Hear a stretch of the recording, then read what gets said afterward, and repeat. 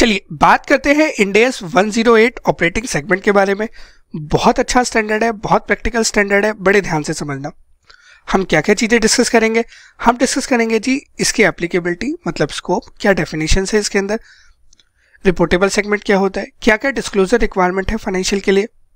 और discussion from industry means कुछ example लेंगे, कुछ कंपनीज़ के, और देखेंगे कि वो किस तरीके से सेगमेंट इन्फॉर्मेशन प्रेजेंट करती है। अगर मैं इसके स्कोप की एप्लीकेबिलिटी की बात करूँ तो मेरे दोस्त, ये ना एक डिस्क्लोजर स्टैंडर्ड है। ये आपको अकाउंटिंग गाइडेंस या प्रिंसिपल नहीं देगा। जैसे इंडेस टू है इंडेस सिक्सटीन है, ये आपको बताता है कि इन्वेंट्री या पीपी कैसे अकाउंट फॉर करना है। ये स्टैंडर्ड आपको कोई भी अकाउंटिंग गाइडेंस नहीं देने वाला। ये सिर्फ़ ये बताएगा कि आपको क्या डिस्क्लोजर्स करने हैं फाइनेंशियल स्टेटमेंट में। एप्लीकेबिलिटी की बात करूँ तो it is applicable on all companies जिनके ऊपर भी इंडियस एप्लीकेबल है। सारी कंपनीज़ जो इंडियस के अंदर है, उन्हें अपने फाइनेंशियल स्टेटमेंट में सेगमेंट इन्फॉर्मेशन देनी होती है। हावेवर एक छोटा सा एग्जामेशन स्टैंडर्ड ने दिया हुआ है। वो ये दिया हुआ है कि अगर कोई पेरेंट एंटिटी है, वो अपने कंसोलिडेटेड फाइनेंशियल स्टेटमेंट और स्टैंड अलोन फाइनेंशियल स्टेटमेंट और you can say separate financial statement देती है, जो इंडियस के अंदर है। तो सेगमेंट इन्फॉर्मेशन किसमें रिक्वायर्ड है? सिर्फ़ कंसोलिडेटेड में रिक्वायर्ड है स्टैंड अलोन फाइनेंशियल स्टेटमेंट में रिक्वायर्ड नहीं है। तो कभी भी किसी होल्डिंग कंपनी ने सीएफएस और एसएफएस प्रेजेंट किया है तो सेगमेंट इन्फॉर्मेशन सिर्फ़ सीएफएस में दे देना एसएफएस में मैंडेटरी नहीं है। बट अगर आप देना चाहो तो आप दे सकते हो। अगर कोई एंटिटी जैसे सीएफएस प्रेजेंट किया वो चाहे तो वो SFS में भी सेगमेंट इन्फॉर्मेशन दे सकती है, कोई रिस्ट्रिक्शन ऐसी नहीं है। बट अगर किसी पेरेंट एंटिटी ने CFS प्रेजेंट ही नहीं किया है तो in that case segment information उसको अपने स्टैंड अलोन में या you can say separate financial statement में देनी पड़ेगी। चलिए, अब हम स्टैंडर्ड में और आगे बात करना शुरू करते हैं। पहले बात करते हैं जी डेफिनेशंस में और डेफिनेशन में सबसे पहली डेफिनेशन है CODM chief operating decision maker बहुत बहुत बहुत इंपॉर्टेंट डेफिनेशन है, बहुत ध्यान से समझना।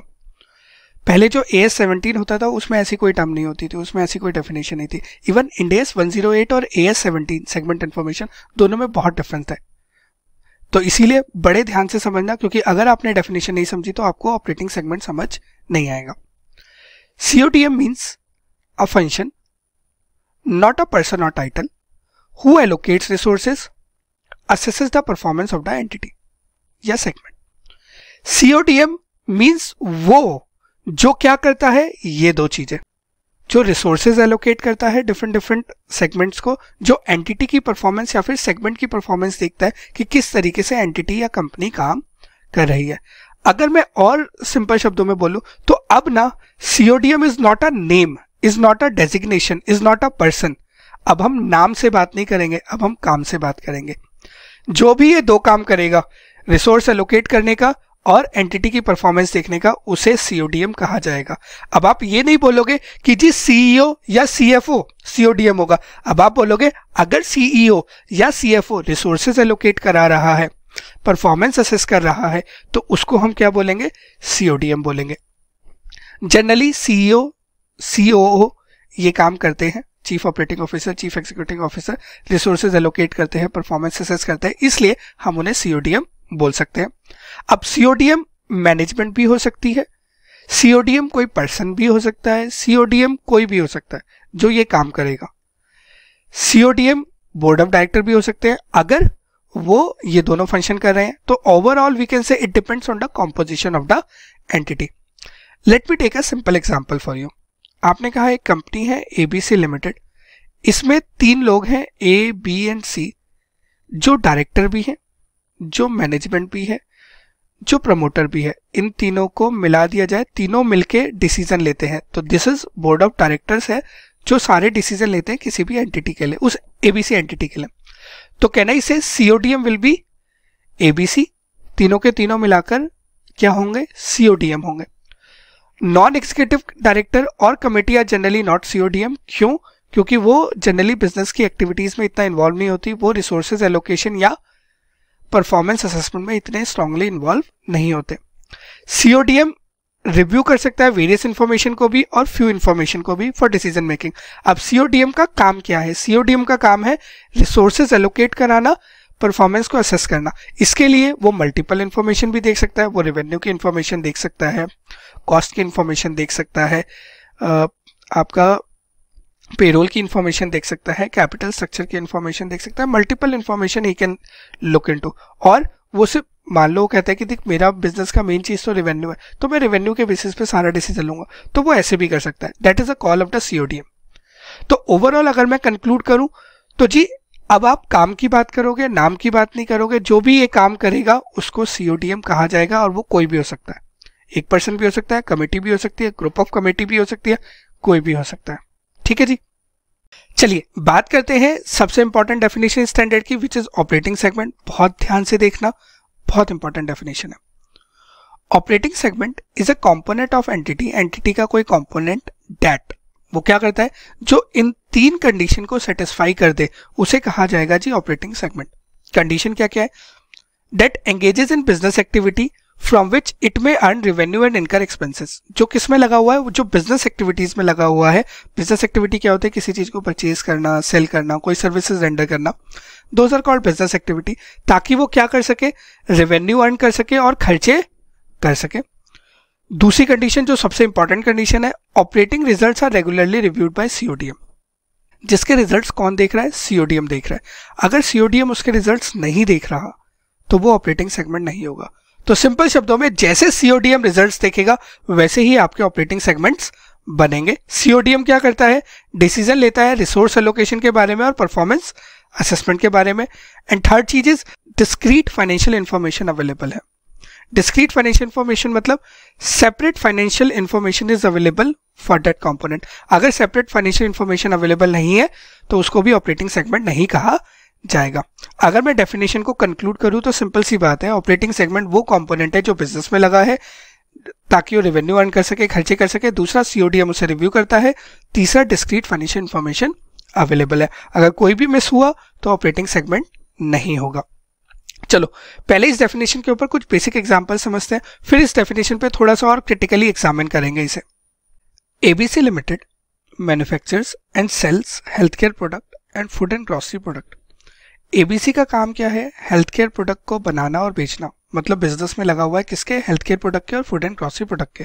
Three products namely A B and C are manufactured वो तीन प्रोडक्ट बनाते हैं A B and C product A is classified as health care product and product B and C are classified as food and grocery product product B and C are similar products discrete financial information is available for each manufacturing location and for selling of each activity discrete financial information आपके पास सब चीज़ों की available है, चाहे product wise बोलो, चाहे manufacturing wise बोलो, चाहे सेलिंग वाइज बोलो तो इन्फॉर्मेशन तो सब अवेलेबल है, उसकी कोई चिंता नहीं है। There are two line managers responsible for manufacturing activities of product A B and C manager X managers product A manager B managers product B and C the operating result of health care product and food and grocery product are regularly reviewed by CODM ये line है, बहुत important CODM क्या करता है? CODM health care project products देखता है और food and grocery products देखता है। Identify operating segment of ABC limited आपको ऑपरेटिंग सेगमेंट बताने हैं। अब मेरे दोस्त ऑपरेटिंग सेगमेंट की डेफिनेशन क्या थी? याद करो फटाफट, और अगर याद नहीं आ रही है तो वीडियो को रिवाइंड करो, पीछे जाओ और दोबारा देख के फिर इस क्वेश्चन को करना। ऑपरेटिंग सेगमेंट कहता है तीन कंडीशन पूरी होनी चाहिए। पहली कंडीशन बिज़नेस हो ताकि आप रेवेन्यू अर्न कर सको, खर्चे कर सको। ऑब्वियसली आप मैन्युफैक्चरिंग कर रहे हो सेलिंग कर रहे हो तो बिज़नेस तो कर रहे हो। तो वो कंडीशन तो सेटिस्फाई हो गई। एक कंडीशन थी डिस्क्रीट फाइनेंशियल इन्फॉर्मेशन होनी चाहिए। क्वेश्चन ने बोल दिया इस लाइन के अंदर कि जी डिस्क्रीट फाइनेंशियल इन्फॉर्मेशन अवेलेबल है, वो भी कोई चिंता नहीं। जो दूसरी कंडीशन थी, जो सबसे इंपॉर्टेंट कंडीशन थी, वो क्या थी? सीओडीएम उसे रिव्यू करे ताकि वो परफॉर्मेंस असेस कर सके और रिसोर्सेज एलोकेट करा सके। सीओडीएम किसको रिव्यू कर रहा है? सीओडीएम रिव्यू कर रहा है मेरे दोस्त हेल्थ केयर प्रोडक्ट को और फ़ूड एंड ग्रॉसरी प्रोडक्ट को। तो can I say health care product and food and grocery product मेरी तीनों कंडीशन को सेटिस्फाई करते हैं, इसीलिए क्या होंगे ऑपरेटिंग सेगमेंट होंगे। ठीक है जी? अब आप में से किसी के दिल में सवाल आ सकता है कि हमने प्रोडक्ट ए को बी को और सी को क्यों नहीं हमने ऑपरेटिंग सेगमेंट बोला? देखो प्रोडक्ट ए बी सी में भी क्या है? बिज़नेस हो रहा है डिस्क्रीट फाइनेंशियल इन्फॉर्मेशन अवेलेबल है।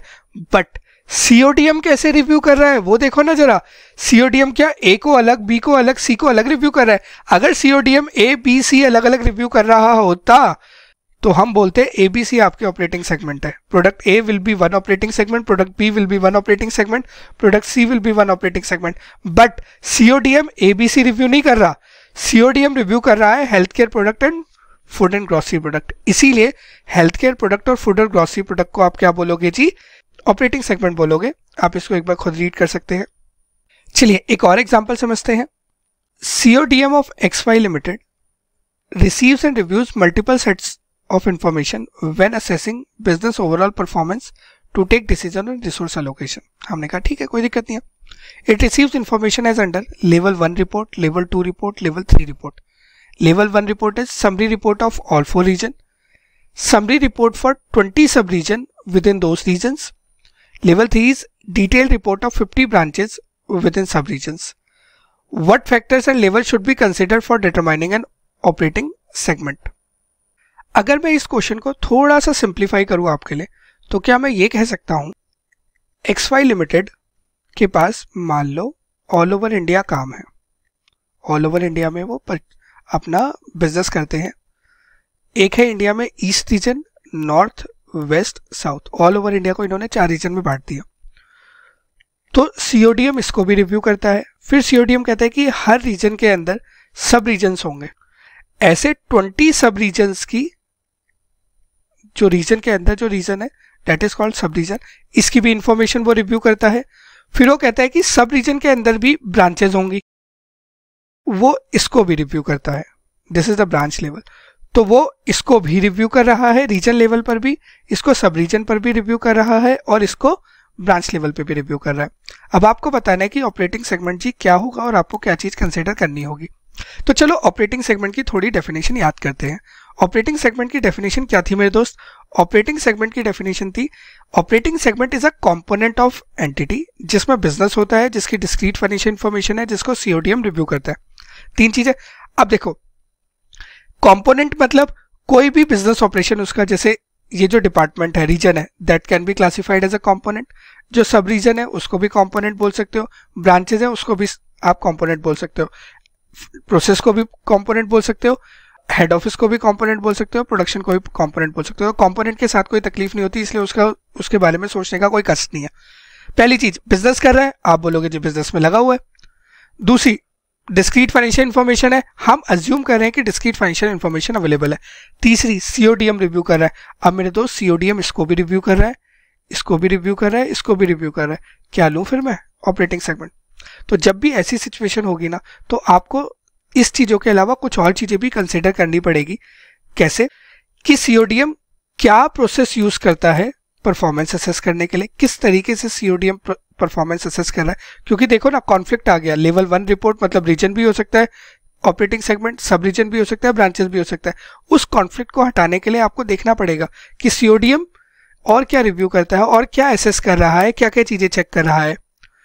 सेगमेंट के कितने मैनेजर हैं, उनकी क्या रिस्पॉन्सिबिलिटी है बजट कैसे एलोकेट हो रहा है क्या बजट आपका रीजन वाइज एलोकेट हो रहा है? बजट सब रीजन वाइज एलोकेट हो रहा है? क्या बजट ब्रांचेस वाइज एलोकेट हो रहा है? और फिर उन सबके बेसिस पे आपको डिसाइड करना पड़ेगा, क्या ऑपरेटिंग सेगमेंट होगा। Operating segment is a judgement decision also अब ऐसी सिचुएशन में जजमेंट ही यूज़ होगी।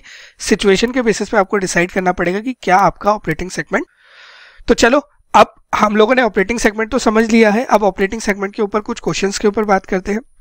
पहला सवाल, क्या discontinued operation can be operating segment or not discontinued operation मतलब एक ऐसा बिज़नेस लाइन जो आपने बंद कर दी है। मान लो, आप शूज़ बनाते हो। शूज़ बनाते हो, आपने कहा कि ठीक है यार, एक पर्टिकुलर प्रोडक्ट की शू लाइन नहीं चलती उसको बंद कर दो। That is a discontinued operation तो क्या डिसकंटिन्यूड ऑपरेशन ऑपरेटिंग सेगमेंट हो सकता है? अब एक चीज़ बताओ ऑपरेटिंग सेगमेंट की डेफिनेशन में कहीं मैंने आपको ये बोला था कंटिन्यूड ऑपरेशन होना चाहिए डिसकंटिन्यूड ऑपरेशन होना चाहिए। मैंने कहा था ऑपरेटिंग सेगमेंट वो होगा जो उन तीन कंडीशन को सेटिस्फाई कर दे। करेक्ट तो अगर डिसकंटिन्यूड ऑपरेशन उन तीनों कंडीशन को सेटिस्फाई कर रहा है, इसकी डिस्क्रीट फाइनेंशियल इन्फॉर्मेशन अवेलेबल है सीओडीएम इसे रिव्यू कर रहा है, और अभी भी इसमें कुछ बिज़नेस हो रहा है तो इसको क्या बोलोगे जी? ऑपरेटिंग सेगमेंट बोलोगे। दूसरा can the component of an entity that earn no revenues be classified as operating segment अगर कोई कॉम्पोनेंट है, जो कोई भी रिवेन्यू अर्न नहीं कर रहा तो क्या ऑपरेटिंग सेगमेंट हो सकता है? अब ये क्वेश्चन तो बहुत अच्छा है। चलो पीछे चलते हैं, एक बार डेफिनेशन पे दोबारा। पढ़ो जरा। हमने कहा था ऑपरेटिंग सेगमेंट वो है जो बिज़नेस एक्टिविटी में लगा हुआ है from which it may earn revenue चाहे तो रेवेन्यू अर्न कर ले, चाहे तो ना करे, कोई फ़र्क नहीं पड़ेगा। अर्न कर रहा है तो अच्छी बात है बट ऐसा कहीं मैंडेटरी नहीं है कि रेवेन्यू अर्न नहीं करेगा तो आपका ऑपरेटिंग सेगमेंट नहीं हो सकता। मान लो आपका काम है गाड़ियाँ बनाना, ठीक है? अभी तक आप कॉमर्शियल व्हीकल में थे। अब आपने कहा, नहीं जी, मैं पैसेंजर व्हीकल में भी आऊँगा, मैं बसेस में कार्स में भी आऊँगा। अभी तक मैं कॉमर्शियल व्हीकल मतलब ट्रक्स हो गए, उसमें था, अब मैं बसेस में भी आ रहा हूँ। तो मैंने एक स्टार्टअप कर दिया, एक ऑपरेशन का। एक नया सेगमेंट डाल दिया, एक नया डिवीज़न खोल दिया, काम शुरू कर दिया। अभी काम शुरू हुआ है, धीरे धीरे धीरे धीरे उसमें से गाड़ियाँ बनेंगी सेल होंगी, खर्चे होंगे। अभी नहीं है। तो क्या वो मेरा सेगमेंट होगा या नहीं होगा? वो मेरा ऑपरेटिंग सेगमेंट होगा क्योंकि वो बिज़नेस एक्टिविटी में लगा हुआ है। ऑल दो उससे अभी मैं रिवेन्यू अर्न नहीं कर रहा बट रेवेन्यू अर्न करना is not a mandatory condition yes if it satisfied other condition अगर वो बाकी कंडीशन सेटिस्फाई कर देगा तो चाहे आप रिवेन्यू नहीं भी अर्न करें तो भी ऑपरेटिंग सेगमेंट होगा।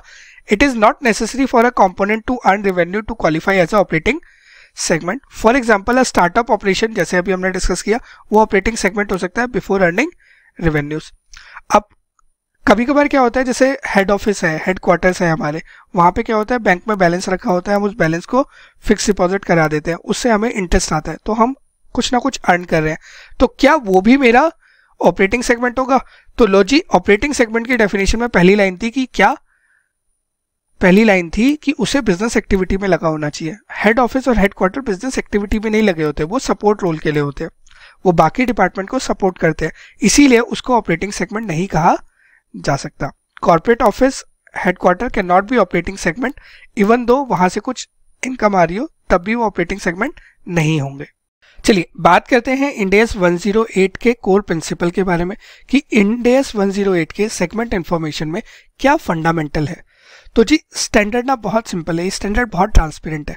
ये कहता है कि सेगमेंट इन्फॉर्मेशन ऐसे दिखानी है, जैसे मैनेजमेंट देखता है, ताकि कोई भी इन्वेस्टर हो, कोई भी शेयर होल्डर हो, कोई भी स्टेक होल्डर हो, उसके पास भी वो नज़रिया हो जो मैनेजमेंट का नज़रिया है। वो मैनेजमेंट के नज़रिए से फाइनेंशियल को देख सके। जैसे मैनेजमेंट एनालाइज कर रही है, वो भी एनालाइज कर सके। वो समझ सके कि क्या बिज़नेस एक्टिविटीज़ हैं, किस तरीके का इकोनॉमिक एनवायरमेंट है एंटिटी का, क्या इफ़ेक्ट होगा किस तरीके का नेचर है, वो सारी चीज़ें वो भी समझ सके, किस तरीके से, जैसे मैनेजमेंट समझ। इसीलिए जब आपने ऑपरेटिंग सेगमेंट पढ़ा तो वहाँ पे एक लाइन आई थी कि सीओडीएम का रिव्यू करना ज़रूरी है। तो अगर उसे मैं दूसरे शब्दों में बोल दूँ कि जैसे सीओडीएम रिव्यू करता है, वैसे ही आपका सेगमेंट भी आएगा। ये स्टैंडर्ड का क्लक्स है, ठीक है? Disclose information to enable stakeholder to have insight into entities operation through the eyes of management आप बिज़नेस के ऑपरेशन को समझ सको जैसे मैनेजमेंट देखती है, मैनेजमेंट के नज़रिए से। It helps the user to evaluate nature and effect of the business activities and economic environment जब भी आप कहीं इंडेस 108 में अटको तो बस ये दो लाइनें याद कर लेना। उसके हिसाब से फिर डिसाइड करना जो बेस्ट है, वही राइट होगा। ठीक है जी? चलिए, अब बात करते हैं रिपोर्टिंग सेगमेंट की। अभी तक हम लोगों ने ऑपरेटिंग सेगमेंट तो समझ लिया, अब बात करते हैं रिपोर्टेबल सेगमेंट की। देखो segment disclosure is not required for each and every segment आपकी कंपनी में जितने भी ऑपरेटिंग सेगमेंट है, ज़रूरी नहीं है कि आपको सबका डिस्क्लोजर देना है। आपको सिर्फ़ डिस्क्लोजर देना है कितों का, जो रिपोर्टेबल सेगमेंट है। Reportable segment is a segment which needs to be reported in the financial statement सबका डिस्क्लोजर रिक्वायर्ड नहीं है, सिर्फ़ ऑपरेटिंग सेगमेंट का। अब क्वेश्चन ये आता है कि रिपोर्टेबल सेगमेंट मेरे दोस्त होगा क्या, निकलेगा कैसे? तो जी, क्या करना है? चलो स्टेप नंबर वन पहले आप आइडेंटिफाई करो इंडिविजुअल ऑपरेटिंग सेगमेंट को। सेगमेंट मींस ऑपरेटिंग सेगमेंट्स पहले आप इंडिविजुअल ऑपरेटिंग सेगमेंट्स निकालो कि आपकी कंपनी में, आपकी एंटिटी में कौन से ऑपरेटिंग सेगमेंट है। इसके लिए आप क्या करोगे? जो आप लोगों ने ऑपरेटिंग सेगमेंट की डेफिनेशन पढ़ी थी ना, कि जो जिसमें बिज़नेस हो, जहाँ से रिवेन्यू और खर्चा हो, जो सीओडीएम देखे प्लस जिसकी डिस्क्रीट फाइनेंशियल इंफॉर्मेशन अवेलेबल हो। तो पहले आपको निकालना है जी इंडिविजुअल ऑपरेटिंग सेगमेंट एक बार जब आपने इंडिविजुअल ऑपरेटिंग सेगमेंट निकाल लिए, मान लो आपके पास आए A B C D E F अब ये मत बोलना, हम आपको एबीसीडी पढ़ा रहे हैं। चलो। पॉइंट नंबर टू एंटिटी में एग्रीगेट टू और more segment to make one segment entity क्या कर सकती है? दो या दो से ज़्यादा सेगमेंट को एक बना सकती है, अगर वो सिमिलर नेचर के हैं तो। जैसे स्टेप वन में मान लो आपने ये छह सेगमेंट आइडेंटिफाई किए। स्टेप टू पे आप बोलते हो कि देखो ए बी सी तीनों के तीनों सेम नेचर के हैं। तीनों के तीनों मान लो हेल्थ केयर के हैं। और ये तीनों अलग अलग टाइप के सेगमेंट है। तो आपने इन तीनों को एक सेगमेंट बना दिया हेल्थ केयर सेगमेंट एक सेगमेंट रखा डी एक सेगमेंट रखा ई e और एक रखा एफ़ तो एंटिटी स्टेप टू पे बोलती है, आप चाहो तो may this is not mandatory condition आप चाहते तो ये छह के छह सेगमेंट रख सकते थे आप चाहो तो जो सिमिलर नेचर के सेगमेंट होते हैं, उनको आप कंबाइन कर दो। जैसे हमने बोला, मान लो तीन सिमिलर नेचर के तो हमने इसे कंबाइन कर दिया। जो कंबाइन करने वाला प्रोसेस होता है, उसे कहा जाता है जी एग्रीगेशन क्राइटेरिया हम समझेंगे थोड़ी देर बाद उसको भी और डिटेल में। अभी के लिए समझो कि जब एंटिटी ने अपने मल्टीपल सेगमेंट आइडेंटि ऑपरेटिंग सेगमेंट आइडेंटिफाई कर लिए हैं तो वो कुछ सेगमेंट्स को कंबाइन कर सकती है। That process will be called aggregation criteria this is not a mandatory step आप चाहो तो अवॉइड कर सकते हो, आप चाहो तो कर सकते हो। कब कर सकते हो? जब आपके सेगमेंट सिमिलर नेचर के हो। सिमिलर नेचर का मतलब सिमिलर इकोनॉमिक कैरेक्टरिस्टिक हो। मतलब उनकी जो रेशियोज बोले लॉन्ग टर्म ग्रोथ बोले प्राइस अर्निंग रेशियो बोले मार्जिन बोले ब्रॉडली सिमिलर नेचर के हैं। मतलब अगर मैं बोलूँ ए बी सी जो आपके सेगमेंट है, अगर इनका price earning ratio growth rate gross margin अगर सिमिलर रेंज में है तो आप बोल सकते हो कि हाँ सिमिलर इन सिमिलर नेचर है, इनका सिमिलर इकोनॉमिक कैरेक्टरिस्टिक है। अगर इन प्रोडक्ट और सर्विसेज़ का नेचर सेम है, जैसे हमने बोला तीनों हेल्थ केयर से रिलेटेड है नेचर ऑफ़ प्रोडक्शन प्रोसेस जिस प्रोडक्शन प्रोसेस से बनते हैं, उनका ब्रॉडली नेचर सेम है। I am not saying they are produce from the same process all I am saying is they have a similar nature of production process type of customer similar हो same तरीके के हो method of distribution जिस तरीके से वो सामान distribute करते हैं, जो उनका डिस्ट्रीब्यूशन चेन है, सप्लाई चेन है, वो मोटी मोटी सिमिलर हो। रेगुलेटरी एनवायरनमेंट जो लॉज जिनके अंदर वो काम कर रहे हैं स्टैच्यू रेगुलेशंस जिसके अंदर काम कर रहे हैं सेगमेंट वो ब्रॉडली सेम हो। तो स्टेप वन पे आप सेगमेंट आइडेंटिफाई कर लो। स्टेप टू पे आप क्या करो? अगर कुछ को कंबाइन करने का दिल है और वो एग्रीगेशन क्राइटेरिया को मीट कर रहे हैं तो जी कंबाइन कर दो। Step three is the most important step बहुत ध्यान से देखना, बहुत ध्यान से देखना। ऑपरेटिंग सेगमेंट जहाँ पे भी सेगमेंट लिखा है, आप प्लीज़ ऑपरेटिंग सेगमेंट ही मान के चलना। Segment exceeding any of the following criteria अगर जो सेगमेंट है, इन तीनों में से किसी भी क्राइटेरिया को पूरा करता है तो उसे हम बोलेंगे जी रिपोर्टेबल सेगमेंट जो आपने स्टेप वन स्टेप टू पे सेगमेंट निकाले हैं, जैसे, अपने केस में हमने क्या निकाला है? एच सी हो गया मतलब हेल्थ केयर का एक सेगमेंट डी एक सेगमेंट ई e एक सेगमेंट एफ़ एक सेगमेंट हमने ये चार सेगमेंट निकाले हैं।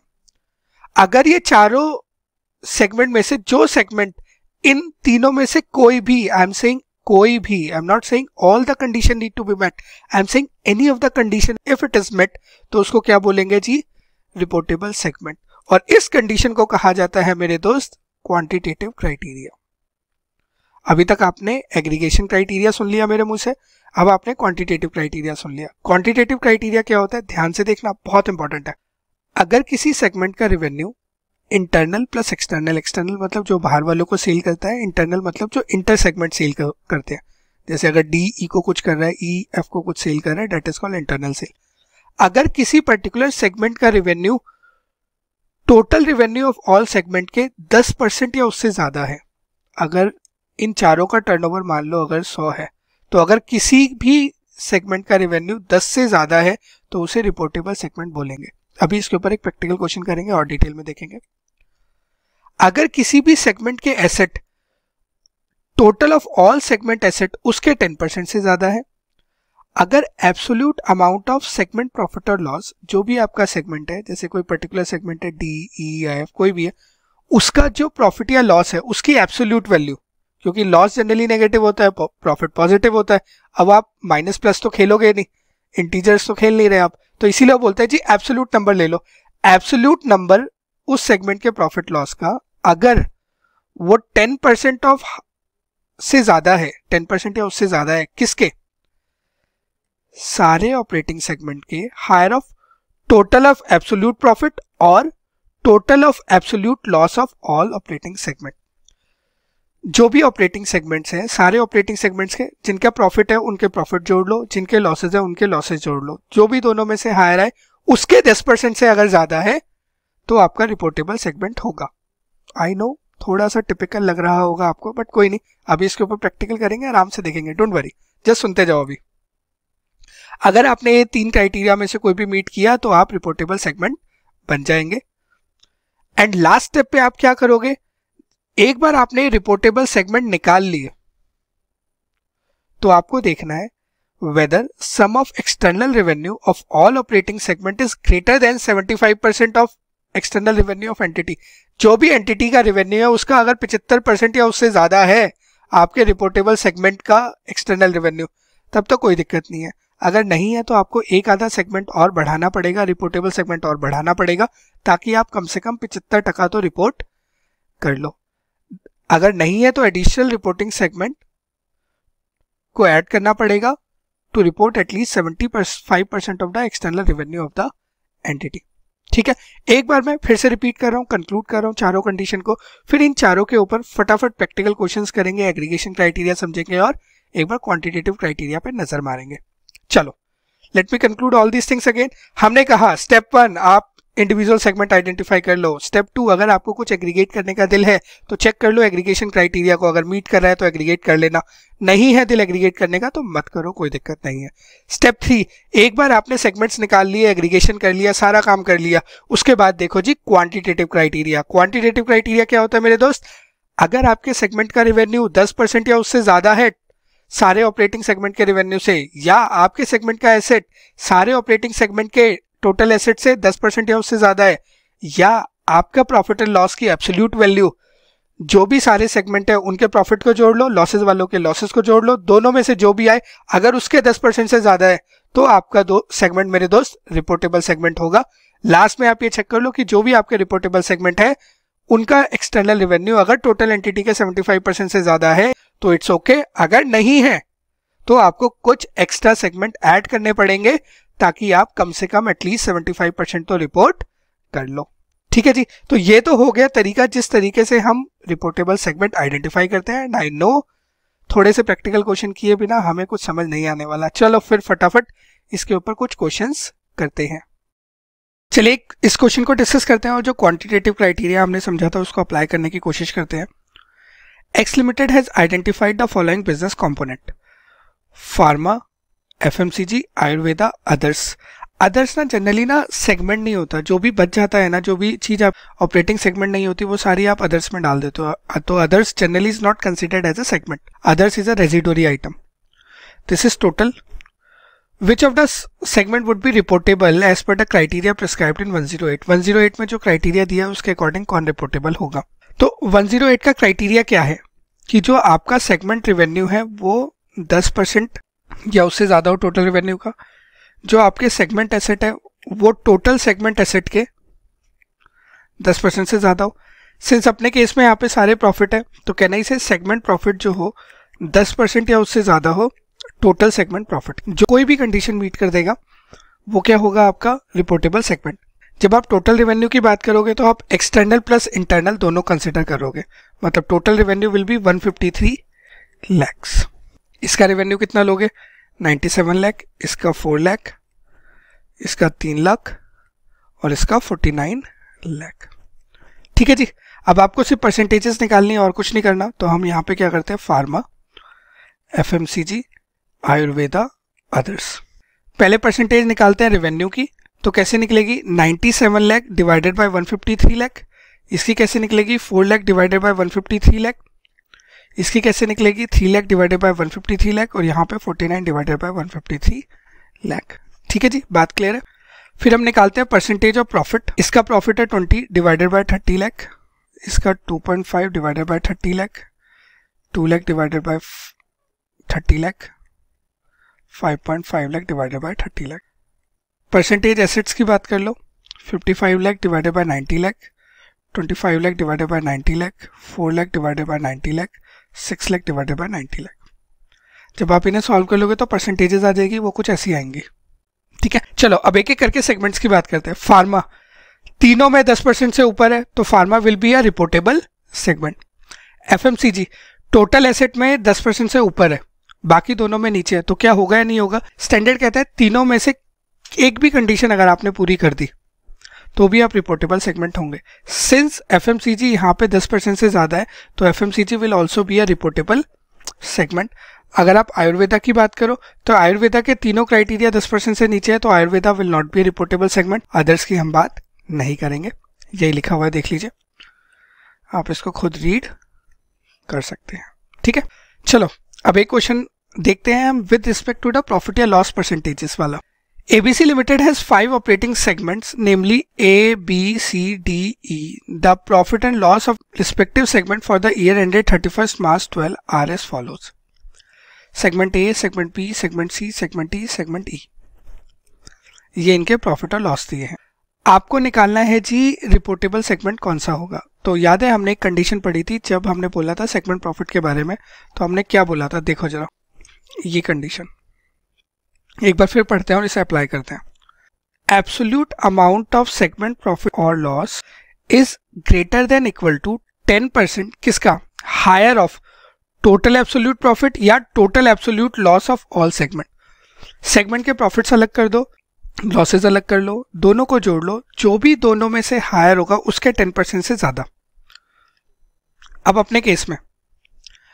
लॉसेस की बात करो और प्रॉफिट्स की बात करो। प्रॉफिट्स है जी 780, 1500 और 6000 लॉसेस की बात करो 2300 और 4500 तो ये आ गया जी 6800 और ये आ गया जी कैलकुलेटर पे टोटल करो फटाफट एट टू एट ज़ीरो। दोनों में से कौन सा हायर है? Eight two eight zero higher है। इसका टेन परसेंट कितना होगा? Eight two eight. अब जिस भी सेगमेंट का, चाहे उसका प्रॉफिट है या लॉस है, आप उसकी एब्सोल्यूट वैल्यू ले लो। जिस भी सेगमेंट की एब्सोल्यूट वैल्यू इस एट टू एट का जो थ्रेश है, इससे ज़्यादा होगी, उस सेगमेंट को क्या बोलोगे आप? रिपोर्टेबल सेगमेंट जैसे इसका प्रॉफिट है जी 780 इसका है 1500 इसका एब्सोल्यूट लॉस कितना है? 2300 4500 6000 जिसका भी अमाउंट 828 से ज़्यादा है that will be considered as a reportable segment कहना इसे ए को छोड़ के बाकी सारे मेरे क्या होंगे? Reportable segment in compliance with Ind AS 108 segment profit और loss of reporting segment will be compare किससे कंपेयर करेंगे? Greater of the following all segments in profit उनके टोटल प्रॉफिट से. ऑल सेगमेंट इन लॉसेस उनके total loss इन दोनों में से हायर कौन सा है जी? एट टू एट ज़ीरो जो भी इसके टेन परसेंट से ज़्यादा है वो क्या होगा रिपोर्टेबल होगा, बाकी सारे रिपोर्टेबल नहीं होंगे। तो हमने यहाँ परसेंटेज निकाल दी, जैसे हमने किया था वैसे भी कर सकते हो, ऐसे भी कर लो। 780 एट्टी डिवाइडेड बाय 8280 ऐसे हर एक की परसेंटेज निकाल लो। तो ये परसेंटेज आ गई। जिसकी परसेंटेज 10 परसेंट से ज़्यादा है, जैसे इन सब की परसेंटेज 10 से ज़्यादा है तो ये सारे किसमें होंगे? ये सारे रिपोर्टेबल सेगमेंट होंगे। ऊपर वाला रिपोर्टेबल सेगमेंट नहीं होगा। चलिए, एक क्वेश्चन और देखते हैं। ये क्वेश्चन बेसिकली है जो हमने आपको 75 परसेंट वाली कंडीशन बोली थी ना। कि जो भी रेवेन्यू आपका रिपोर्टेबल सेगमेंट का होता है, वो टोटल एक्सटर्नल रेवेन्यू का 75 परसेंट या उससे ज़्यादा होना चाहिए। इस क्वेश्चन से हम उस चीज़ को समझें। X limited has identified four operating segment for which revenue data is given below आपको ये डेटा दिया हुआ है। External revenue internal revenue total चार सेगमेंट दिए हुए एडिशनल इन्फॉर्मेशन दी है। Segment C is a new business unit and management expect this segment to make a significant contribution to external revenue in coming year आप बताइए, आप कौन कौन से रिपोर्टेबल सेगमेंट लेंगे इंडियस 108 के अकॉर्डिंग तो मेरे दोस्त इंडेस 108 कहता है कि रिपोर्टेबल सेगमेंट कौन सा होगा रिपोर्टेबल सेगमेंट वो होगा जिसका रेवेन्यू टोटल रेवेन्यू के 10 परसेंट या उससे ज़्यादा है। टोटल रेवेन्यू कितना है? एक्सटर्नल या इंटरनल या दोनों? दोनों लिए जाएँगे। कितना है जी टोटल रेवेन्यू एक करोड़। इसका दस परसेंट कितना होगा? दस लाख। तो जो भी सेगमेंट जिसका रेवेन्यू दस लाख से ऊपर है, वो होगा रिपोर्टेबल सेगमेंट बाकी रिपोर्टेबल सेगमेंट नहीं होंगे। तो अपने केस में ए का रेवेन्यू तीस लाख है डी का रेवेन्यू फिफ्टी फोर लाख है। तो A will be a reportable segment D will be a reportable segment B और सी रिपोर्टेबल सेगमेंट नहीं होंगे। पहली बात समझ आती है डन खत्म कहानी। बट यहाँ पे एक कंडीशन है। स्टैंडर्ड कहता है कि जो भी आपका रिपोर्टेबल सेगमेंट है, उसका external revenue total external revenue के 75 परसेंट होना चाहिए। तो अगर मैं ए और डी की बात करूँ टोटल एक्सटर्नल रेवेन्यू कितना है मेरे भाई? 35 लाख। और टोटल सेगमेंट्स का एक्सटर्नल रेवेन्यू कितना है जी? 50 लाख। कितना परसेंट हुआ? ये 75 परसेंट नहीं हुआ, यहाँ पे कष्ट हो गया। जब ये 75 परसेंट नहीं है तो आपको कोई ना कोई एक सेगमेंट और ऐड करना पड़ेगा, ताकि आप एक्सटर्नल रेवेन्यू को 75 परसेंट कर सके। अब अगर आप बी को ऐड करना चाहते हो तो बी को कर सकते हो सी को करना चाहते हो तो सी को कर सकते हो। एज सच कहीं पे भी कुछ भी नहीं लिखा है, कोई दिक्कत नहीं है। बट एक चीज़ ज़रूर देख लेना कि उसको ऐड करने के बाद 75 परसेंट की कंडीशन क्रॉस हो जाए। अब देखो 75 परसेंट की कंडीशन के लिए अगर मैं बी को ऐड कर दूँ तो साढ़े छह लाख का टर्नओवर बढ़ जाएगा, साढ़े छह लाख का टर्नओवर बढ़ते ही एटी थ्री परसेंट हो जाएगा। और अगर मैं सी को ऐड कर दूँ तो 35 लाख में 8 लाख फिफ्टी थाउज़ेंड और ऐड करोगे तो 43 लाख फिफ्टी थाउज़ेंड हो जाएगा, वो भी आपका 80 परसेंट प्लस हो जाएगा। तो दोनों केसेस में मेरी दोनों कंडीशन मतलब पिछहत्तर परसेंट वाली कंडीशन मीट हो जाएगी तो मैं किसी को भी ऐड कर सकता हूँ, कोई चैलेंज नहीं है। सिंस मैनेजमेंट बोल रही है कि सी का जो बिज़नेस है, आगे आने वाले सालों में फ्लरिश होगा तो ठीक है on a prudent side we can say कि हम क्या क्या दिखाएँगे रिपोर्टेबल सेगमेंट में? ए दिखाएँगे डी दिखाएँगे सी भी दिखा सकते हैं बी भी दिखा सकते हैं। सिंस मैनेजमेंट बोल रही है कि सी दिखा दो सी बेटर बिज़नेस है तो हम सी दिखा सकते हैं। But this is a matter of professional judgement आप दोनों में से कोई भी दिखा सकते हो, कोई दिक्कत नहीं। बट ऐसा मत कर देना कि जी, हम चारों ही दिखा देते हैं, चारों दिखा देंगे तो वैसे भी 75 परसेंट से ऊपर चला जाएगा। ऐसा करने की ज़रूरत नहीं है। स्टैंडर्ड बहुत क्लियर कट है। पहले आप निकालो रिपोर्टेबल सेगमेंट सिर्फ़ उन्हीं को रिपोर्ट करना है। बट अगर कभी 75 परसेंट की कंडीशन मीट नहीं हो रही तो एक आधा अगर एडिशनल सेगमेंट लेना है तो ले लेना। ये मत करना कि सारे के सारे सेगमेंट उठा दिए और डाल दिए और बोला जी 75 परसेंट की कंडीशन मीट होगी। तो फिर तो रिपोर्टेबल सेगमेंट का कंसेप्ट डिफीट हो जाएगा। ठीक है? लो जी। थ्रेशोल्ड 10 लाख का ए एक्स सीट कर रहा है डी एक्स सीट कर रहा है तो ये दोनों रिपोर्टेबल हैं। बी और सी एक्स सीट नहीं कर रहे तो रिपोर्टेबल नहीं है। बट ए और डी का जो टर्नओवर है एक्सटर्नल टर्नओवर 70 परसेंट है तो आपको कम से कम एक सेगमेंट और ऐड करना पड़ेगा, ताकि आप एटलीस्ट 75 परसेंट डिस्क्लोज कर सको। इन डैट केस और सिंस मैनेजमेंट ने बोला है सी एक नया बिज़नेस है अच्छा हो जाएगा। सी के बाद कितनी परसेंटेज हो जाती है जी? 87 परसेंट हो जाती है। तो हम ए सी डी को रिपोर्टेबल सेगमेंट दिखा देंगे और बी को हम अदर सेगमेंट दिखाएँगे। ठीक है जी? बी को अदर सेगमेंट इसलिए दिखाया जो भी सेगमेंट आप रिपोर्ट नहीं करते हो, उन सबको आप क्लब करके अदर सेगमेंट में दिखाते हो। ये हम अभी आगे डिस्कस करेंगे। ऑल्टरनेटिवली आप चाहो तो बी को भी सेगमेंट ले सकते हो। बी को लोगे तो भी 83 परसेंट हो जाता है टोटल एक्सटर्नल रेवेन्यू तो भी अपने को कोई कष्ट नहीं है। ठीक है? चलिए तो एक बार क्विकली रिवाइज करके क्वांटिटेटिव क्राइटेरिया को कंक्लूड करते हैं। तो हमने कहा, जो भी आपका रेवेन्यू है एक्सटर्नल प्लस इंटरनल अगर वो 10 परसेंट या उससे ज़्यादा है, किसके? Combined revenue of all segment तो आप बोलोगे हाँ जी रिपोर्टेबल सेगमेंट है, आपको रिपोर्ट करना है। ये नहीं है तो आप दूसरी कंडीशन चेक कर लो। दूसरी कंडीशन है कि एब्सोल्यूट अमाउंट ऑफ़ प्रॉफिट और लॉस जो भी आपका एब्सोल्यूट अमाउंट ऑफ़ प्रॉफिट और लॉस है, वो 10 परसेंट या उससे ज़्यादा होना चाहिए। किसके? इन दोनों में से जो हायर है उसके। क्या है ये? Combined reported profit of all operating segment combined reported loss of all operating segment at reported loss loss वालों को कंबाइन कर लो प्रॉफिट वालों को कंबाइन कर लो, दोनों में से जो भी हायर है उसके दस परसेंट से ज़्यादा। अगर है तो सेगमेंट रिपोर्टेबल है, नहीं है तो तीसरी कंडीशन चेक कर लो मेरे भाई। क्या आपका सेगमेंट एसेट कंबाइंड एसेट के दस परसेंट से ज़्यादा है? हमने कहा है तो तो अच्छी बात है। अगर नहीं है तो स्टैंडर्ड एक चीज़ और कहता है। जो अभी हम थोड़ी देर बाद पढ़ने वाले हैं बट फिर भी बता देते हैं। अगर मैनेजमेंट को लगता है कि हाँ जी, कोई स्टैंडर्ड दिखाना चाहिए तो आप दिखा सकते हो, कोई चैलेंज नहीं है। Whether the management believes that the information about a segment would be useful to the user of the financial statement अगर ऐसा है तो आप दिखा सकते हो, हमें कोई चैलेंज नहीं है। मैनेजमेंट कह रही है, मुझे कुछ दिखाना है तो मना करोगे। और अगर ऐसा कुछ नहीं है तो आपको रिपोर्टेबल सेगमेंट में दिखाने की ज़रूरत नहीं है अदर सेगमेंट में आप दिखा सकते हो। आपको उसे सेपरेटली दिखाने की ज़रूरत नहीं है। आप उसको अदर सेगमेंट में क्लब कर दो। एग्रीगेशन क्राइटेरिया क्या होता है? एग्रीगेशन क्राइटेरिया कहता है two or more segment may be aggregated into a single operating segment दो या दो से ज़्यादा सेगमेंट को आप कंबाइन कर सकते हो। This is a condition of may आप चाहो तो करो, नहीं चाहो तो मत करो, कोई मैंडेटरी नहीं है। ठीक है? ये लाइन बहुत क्लियर कट है। दिस इज़ नॉट मैंडेटरी आप चाहो तो करो, चाहो तो मत करो, कोई दिक्कत नहीं है। जनरली इसलिए किया जाता है अदरवाइज़ क्या होगा, अगर किसी कंपनी में मान लो पंद्रह रिपोर्टेबल सेगमेंट है, आप उन पंद्रह के पंद्रह को अलग अलग दिखाने जाओगे तो फाइनेंशियल में कितना डिस्क्लोजर आ जाएगा? तो इसलिए जनरली जो सेम टाइप के होते हैं ना, उनको कंबाइन कर दिया जाता है। तो स्टैंडर्ड कहता है कि आप दो या दो से ज़्यादा सेगमेंट को कंबाइन कर सकते हो, अगर ये तीन कंडीशन पूरी हो जाती हैं तो। तीन कंडीशन क्या है? Aggregation is consistent with the core principle of Ind AS Ind AS के कोर प्रिंसिपल के साथ कंसिस्टेंट होना चाहिए, उसके कॉन्फ्लिक्ट में नहीं होना चाहिए। इंडेक्स का कोर प्रिंसिपल क्या है? कि आपको सेगमेंट इंफॉर्मेशन दिखानी है, जैसे मैनेजमेंट उसे देखता है। दूसरा, आपको इस तरीके से दिखानी है कि यूज़र्स को आपकी जो बिज़नेस एक्टिविटी है और जो आपका इकोनॉमिक एनवायरनमेंट है, उसका नेचर समझ आ जाए, उसका फाइनेंशियल इफ़ेक्ट समझ आ जाए। मतलब कहीं पे भी वो इंडियस के इस कोर प्रिंसिपल के साथ कॉन्फ्लिक्ट में नहीं होने चाहिए। Segments have similar economic characteristic आपके जो सेगमेंट है, उनका जो इकोनॉमिक कैरेक्टरिस्टिक है economic characteristic basically refers to long term financial performance although standard में कहीं डिफाइन नहीं है बट एजुकेशन मटेरियल कहता है कि economic characteristic refer to long term financial performance जैसे आपके margin sales growth return on asset EBITDA EBIT price earning ratio अगर ये सिमिलर तरीके के हैं अगर लॉन्ग टर्म में सिमिलर रेंज में होंगे सिमिलर तरीके के हैं तो आप कंबाइन कर सकते हो, हमें कोई दिक्कत नहीं है। तीसरा, जो सबसे इंपॉर्टेंट कंडीशन है, ध्यान से देखना। The segment are similar segment किस किस चीज़ में सिमिलर होने चाहिए? एक तो उन सेगमेंट में जो प्रोडक्ट्स का नेचर है और जो सर्विसेज़ का नेचर है, वो सेम होना चाहिए। जो आपका प्रोडक्शन प्रोसेस है, उसका नेचर सेम होना चाहिए।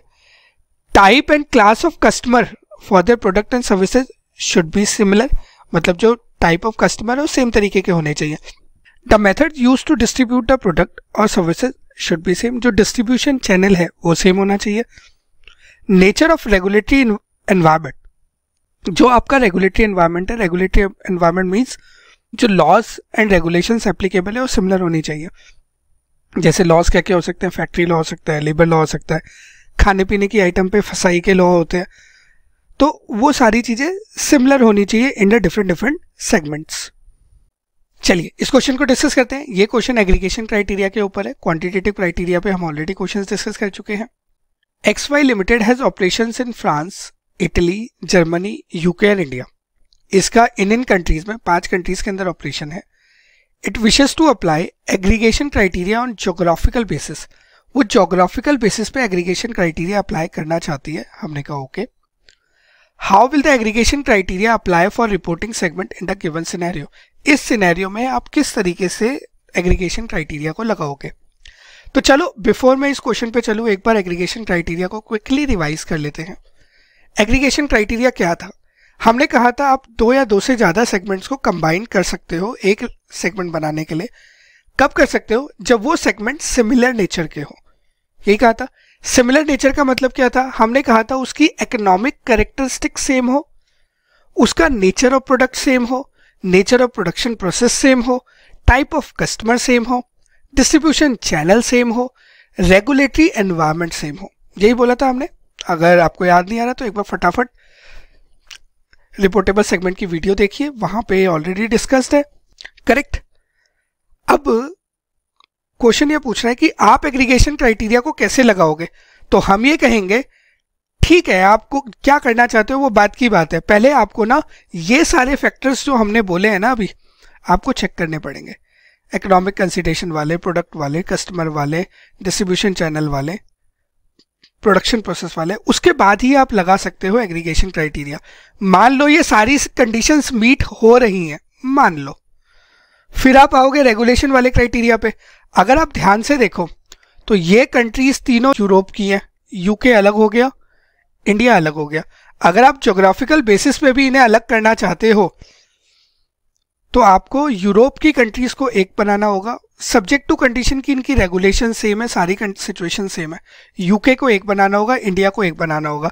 आप इंडिया को जर्मनी इटली के साथ मर्ज नहीं कर सकते। यूरोप की रेगुलेशन और इंडिया की regulation on any day different है। करेक्ट तो अगर आप जोग्राफिकल बेसिस लगाना चाहते हो तो पहले आप उन सारे क्राइटेरियाज को चेक कर लो। अगर आपके सारे क्राइटेरिया मीट हो रहे हैं तो फिर आप जोग्राफिकल बेसिस पे बोलोगे कि ये यूरोप की कंट्रीज़ है तो इनको अलग रख लो यूके अलग रख लो इंडिया अलग रख लो। ठीक है जी?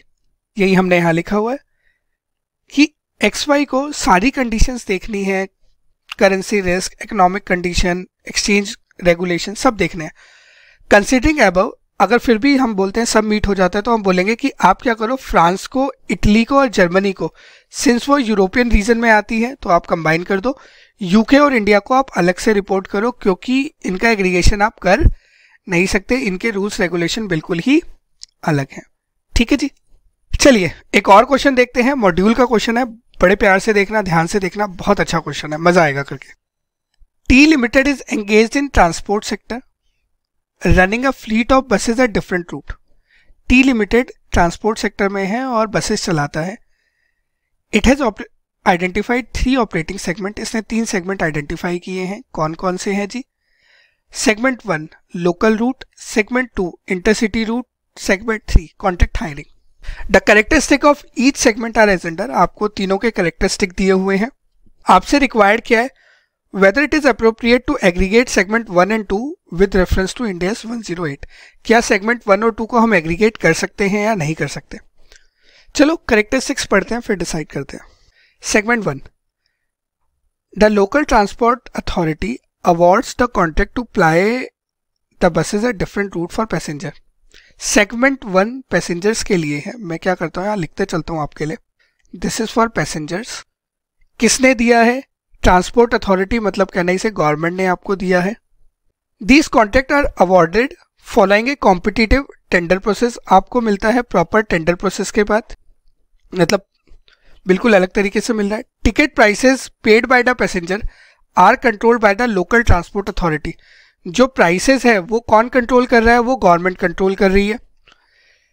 टी लिमिटेड वो charge the local transport authority on a per kilometer basis T limited क्या करता है? लोकल ट्रांसपोर्ट अथॉरिटी से पर किलोमीटर बेसिस पे कुछ अमाउंट चार्ज करता है। ठीक है? आगे बढ़ते हैं। Intercity routes T limited operate buses from one city to another prices are set by T on the basis of services provided intercity route क्या है? उसकी खुद का काम है सारा। उसमें क्या है?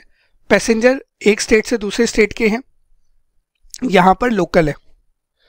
यहाँ पे गवर्नमेंट का रोल था, यहाँ पे कोई गवर्नमेंट का रोल नहीं है, यहाँ पे टेंडर था यहाँ पे कोई टेंडर नहीं है। यहाँ प्राइस गवर्नमेंट ने डिसाइड किया था, यहाँ प्राइस गवर्नमेंट ने डिसाइड नहीं किया। यहाँ गवर्नमेंट से पर किलोमीटर प्राइस लेता था, यहाँ गवर्नमेंट से कुछ ले रहा कस्टमर से ले रहा। सिर्फ़ जो मेरे पैसेंजर्स हैं, वो भी आप डिफरेंट बोल सकते हो, क्योंकि यहाँ पे लोकल लोग हैं और यहाँ पे इंटरसिटी वाले लोग हैं, जो एक स्टेट से दूसरे स्टेट में जा रहे हैं। इतना कुछ पढ़ने के बाद आपको लगता है मुझे इसे कंबाइन करना चाहिए। अगर मैं क्वेश्चन में बाकी कुछ ना पढ़ूँ ना तो अपेरेंटली लग रहा है मुझे इसे कंबाइन नहीं करना चाहिए। क्यों? क्योंकि मेरे नेचर ऑफ़ कस्टमर अलग है, मेरा प्राइसिंग अलग है, मेरी रेगुलेशंस अलग है, मेरा प्रोसेस अलग है, मेरी प्राइसिंग अलग है। तो कहाँ से बोलूँ? ये सिमिलर नेचर का सेगमेंट है। जब ये सिमिलर नेचर के सेगमेंट नहीं है तो आप इसे कंबाइन नहीं कर सकते। इसके अलावा क्वेश्चन में एक चीज़ और लिखी थी। Segment one has been showing significant decline in profitability segment two क्या कर रहा है? एक अच्छी प्रॉफिटेबिलिटी देने लग रहा है with higher margin the management of the company is not sure why is the segment information relevant for user when they should be concern about the return from the overall business thus they would like to aggregate segment one and two for the reporting and operating segment company कह रही है कि देखो, मेरा segment one अच्छा नहीं चल रहा, मेरा सेगमेंट टू अच्छा चल रहा है। मैं इन दोनों को कंबाइन कर दूँगा तो मेरी पिक्चर अच्छी दिखेगी। नहीं तो दिखेगा कि एक बिज़नेस डाउन है, एक बिज़नेस अप है। तो कह रहे हैं कि सेगमेंट इन्फॉर्मेशन में कोई फ़र्क नहीं पड़ता, वो ओवरऑल बिज़नेस को देखना होता है, हर सेगमेंट को देखने की ज़रूरत नहीं है। तो क्या मैं इसे कंबाइन कर दूँ? आपका जवाब क्या होगा? आपका जवाब होगा, जी, नहीं, आप नहीं कर सकते। लो जी ये हो गई मेरे दोस्त कंडीशंस जो हमने ऑलरेडी पढ़ ली है। यहाँ पे कह रहा है कि आपके प्रोडक्ट और सर्विसेज़ तो सिमिलर है बट कस्टमर्स अलग है। इसके अलावा उसने मल्टीपल और चीज़ें दी है कि किस किस तरीके से हम बोलेंगे अलग है। देखो सेगमेंट वन में decision to award a contract local authority के पास है। सारे प्राइसेस वगैरह वो सेट करती है। कंपनी के पास company is not expose to passenger revenue risk since contract कौन दे रहा है? कॉम्पिटेटिव टेंडर पे मिल रहा है। ऑन द अदर साइड अगर आप इंटरसिटी की बात करो where a bus route is economically viable by choosing whether or not to buy the tickets ऊपर वाले पे आपको कुछ नहीं करना। आपको जो गवर्नमेंट ने दे दिया, आपको करना है। नीचे आप सिलेक्ट कर सकते हो कि भैया करना है रूट लेना है या नहीं लेना। टिकट प्राइस आप सेट करते हो but will be affected by customer behaviour और feedback T limited is expose to passenger revenue risk as it sets prices when the customer may or may not choose to pay simple शब्दों में, दोनों segment अलग है, इसीलिए आप उसे aggregate नहीं कर सकते। आपके ये क्राइटेरिया मीट नहीं होते। ठीक है जी? चलिए, अब रिपोर्टेबल सेगमेंट के ऊपर कुछ मिसलेनियस पॉइंट्स और डिस्कस करते हुए चलते हैं और खत्म करते हैं रिपोर्टेबल सेगमेंट को। Operating segment data not reportable should be combined and disclose in an all other segment category जो भी ऑपरेटिंग सेगमेंट आप रिपोर्ट नहीं करने जा रहे हैं, या यू कैन से जो भी रिपोर्टेबल नहीं है, आप उन सबको क्या करेंगे? आप एक उनको क्लब कर देंगे और एक कैटेगरी बना देंगे अदर सेगमेंट की और डिस्क्लोज करेंगे। Operating segment that do not meet any of the quantitative threshold may be considered reportable and separately disclosed if information about the segment is useful to the user हम ये कह रहे हैं कि if management believes अगर management believe करती है कि हाँ जी, कोई भी सेगमेंट यूज़र्स के लिए यूजफुल होगा यूज़र्स को बताना चाहिए तो चाहे वो क्वांटिटेटिव क्राइटेरिया को मीट करे या ना करे, आपको डिस्क्लोज करना पड़ेगा। क्योंकि मैनेजमेंट की जजमेंट है कि हाँ जी, ये सेगमेंट आपका क्रिटिकल है, इसीलिए आपको उसे यूज़र्स को डिस्क्लोज करना है। इसके अलावा an operating segment reported as reportable segment in the immediately preceding year but have not met threshold in current year, it can be disclosed in current year if the management believes it is of continuing significance. इस point में भी वही management की judgement है। Management कह रही है कि एक ऐसा सेगमेंट है जो पिछली बार आपने रिपोर्ट किया था क्योंकि वो आपके जो क्वांटिटेटिव क्राइटेरिया उसको मीट कर रहा था। इस बार आपने रिपोर्ट नहीं किया क्योंकि उसे क्वांटिटेटिव क्राइटेरिया को मीट नहीं किया। क्वांटिटेटिव क्राइटेरिया में क्या आते थे? रेवेन्यू वाली कंडीशन प्रॉफिट वाली कंडीशन एसेट वाली कंडीशन तो मैनेजमेंट को लगता है, नहीं, वो इस बार भी डिस्क्लोज होना चाहिए क्योंकि उसकी इंपॉर्टेंस है, उसका सिग्निफिकेंस है तो आप उसको भी डिस्क्लोज करोगे। इन सिंपल वर्ड्स इन दोनों पॉइंट में मैं यही बोलूँगा, अगर मैनेजमेंट की जजमेंट है कि हाँ जी, कोई particular segment operating segment disclose होना चाहिए, चाहे वो क्वांटिटेटिव क्राइटेरिया को मीट करे या ना करे, आपको उसको डिस्क्लोज करना पड़ेगा and they will be classified as a reportable segment If an operating segment is identified as reportable segment in current year, but not as reported segment in the previous year, then segment data for the prior period presented for comparative purpose should be restated. होता क्या है जब आप segment information देते हो तो आप current year की इन्फॉर्मेशन देते हो उसके साथ साथ आप पिछले साल की इन्फॉर्मेशन भी देते हो तो अगर किसी सेगमेंट का आप रेवेन्यू बता रहे हो तो आपको पिछले साल का भी रेवेन्यू बताना पड़ता है। तो अगर कोई ऐसा सेगमेंट है जो करंट ईयर में मैंडेटरी हुआ है कि आपको रिपोर्ट करना पड़ेगा करंट ईयर में उसके क्राइटेरिया मीट हो गए हैं बट पिछले साल क्राइटेरिया मीट नहीं हुए थे, इसीलिए आपने पिछले साल उसे डिस्क्लोज नहीं किया था। तो जब आप करंट ईयर में डिस्क्लोज करोगे तो आपको उसके पिछले साल के नंबर भी देने पड़ेंगे, इसीलिए आपको पिछले साल के नंबर्स को रीस्टेट करना पड़ सकता है। क्यों? क्योंकि पिछली बार आपने उसे ऑल अदर की कैटेगरी में डाल दिया होगा। इस बार अब आप उसे रिपोर्टेबल सेगमेंट की कैटेगरी में डाल रहे हो। तो पिछले साल के नंबर्स को आपको थोड़ा सा बदलना पड़ेगा। तो जब भी ऐसा हो कि कोई नया सेगमेंट आने लग रहा है तो आपको पिछले साल के नंबर्स बदलने पड़ सकते हैं। नेक्स्ट इज़ आपको कितने नंबर ऑफ़ सेगमेंट डिस्क्लोज करने हैं? तो स्टैंडर्ड कहता है, कोई लिमिट नहीं है। Any segment meeting the quantitative criteria should be disclose there are no limits on the number of segment to be disclose कोई लिमिट नहीं है कि दो दिखाने हैं, चार दिखाने छह दिखाने जिन्होंने क्वांटिटेटिव क्राइटेरिया को मीट कर लिया, सबको आपको डिस्क्लोज करना पड़ेगा। ए एस सेवनटीन के अंदर प्राइमरी सेगमेंट और सेकेंडरी सेगमेंट की कंडीशन होती थी। इंडेस 108 में ऐसी कोई कंडीशन नहीं है। इंडेस 108 कहता है, भैया, एक होता है ऑपरेटिंग सेगमेंट ऑपरेटिंग सेगमेंट में से जो क्वांटिटेटिव क्राइटेरिया को मीट कर देगा, वो हो जाएगा मेरा रिपोर्टेबल सेगमेंट उसको मैं फाइनेंशियल में दिखा दूँगा। There is no condition of primary segment और secondary segment is an entity required to provide separate disclosure for each of its operating segment question is क्या किसी एंटिटी को सारे ऑपरेटिंग सेगमेंट की इंफॉर्मेशन डिस्क्लोज करनी है? तो हमने पहले पॉइंट पे पढ़ा था, जब रिपोर्टेबल सेगमेंट पढ़ा था। नहीं, ऐसा नहीं है। आपको सिर्फ़ रिपोर्टेबल सेगमेंट की ही इंफॉर्मेशन डिस्क्लोज करनी है। सबकी इंफॉर्मेशन डिस्क्लोज नहीं करनी। Can an operating segment that has never met the quantitative threshold be disclose separately क्या कोई ऐसा सेगमेंट जिसने कभी भी क्वांटिटेटिव थ्रेशोल्ड को मीट नहीं किया? आप डिस्क्लोज करोगे। अभी अभी आपने पढ़ा है। हाँ जी, अगर मैनेजमेंट को लगता है कि वो यूजफुल है यूज़र्स के लिए तो आपको उसे डिस्क्लोज करना पड़ेगा। ठीक है जी? तो इसके साथ हो गया अपना रिपोर्टेबल सेगमेंट क्लोज अभी तक हम लोगों ने समझ लिया कि सीओडीएम क्या होता है। हमने ये समझ लिया कि ऑपरेटिंग सेगमेंट क्या होता है। फिर हमने ये समझ लिया कि उसमें से रिपोर्टेबल सेगमेंट क्या है। अब हमें ये समझना है कि हमें रिपोर्टेबल सेगमेंट के बारे में बताना क्या है। What is the disclosure which is required which is one of the most critical item of the standard चलिए दोस्तों, अब हम आ गए हैं जी सेगमेंट्स के डिस्क्लोजर के ऊपर कि ऑपरेटिंग सेगमेंट इंडियस 108 में क्या क्या डिस्क्लोजर रिक्वायरमेंट है। अब डिस्क्लोजर की जब बात करेंगे तो पहले थोड़ा सा प्रैक्टिकल देख लेते हैं। देख लेते हैं कि किस तरीके से हमारे देश में बड़ी बड़ी कंपनियाँ क्या क्या चीज़ें डिस्क्लोज करती हैं। तो चलो, हमने आपके लिए ना एग्ज़ाम्पल लिया है जी टाटा मोटर्स का। टाटा मोटर्स की एनुअल रिपोर्ट देखते हैं थोड़ी सी ढूंढते हैं और देखते हैं इन्होंने किस तरीके से सेगमेंट को रिपोर्ट किया है। उसके बाद आएँगे थ्योरी कंटेंट के ऊपर। ठीक है? लो जी, मैं गया टाटा मोटर्स की एनुअल रिपोर्ट पे, मैंने सर्च किया यहाँ पे आपके आगे सेगमेंट रिपोर्टिंग ये सर्च कर रहा है अभी सेगमेंट रिपोर्ट चलो, आ गया जी सेगमेंट रिपोर्ट अब बड़े ध्यान से देखना शुरू करना और समझना शुरू करना। जैसे ही आपको इनकी प्रेजेंटेशन समझ आ जाएगी, उसके बाद जब हम थ्योरी कंटेंट पर चलेंगे तो आप कहेंगे, बिल्कुल, यही करना था। देखो टाटा मोटर्स की एनुअल रिपोर्ट है, मार्च 2021 की। ये इसके स्टैंड अलोन फाइनेंशियल्स हैं।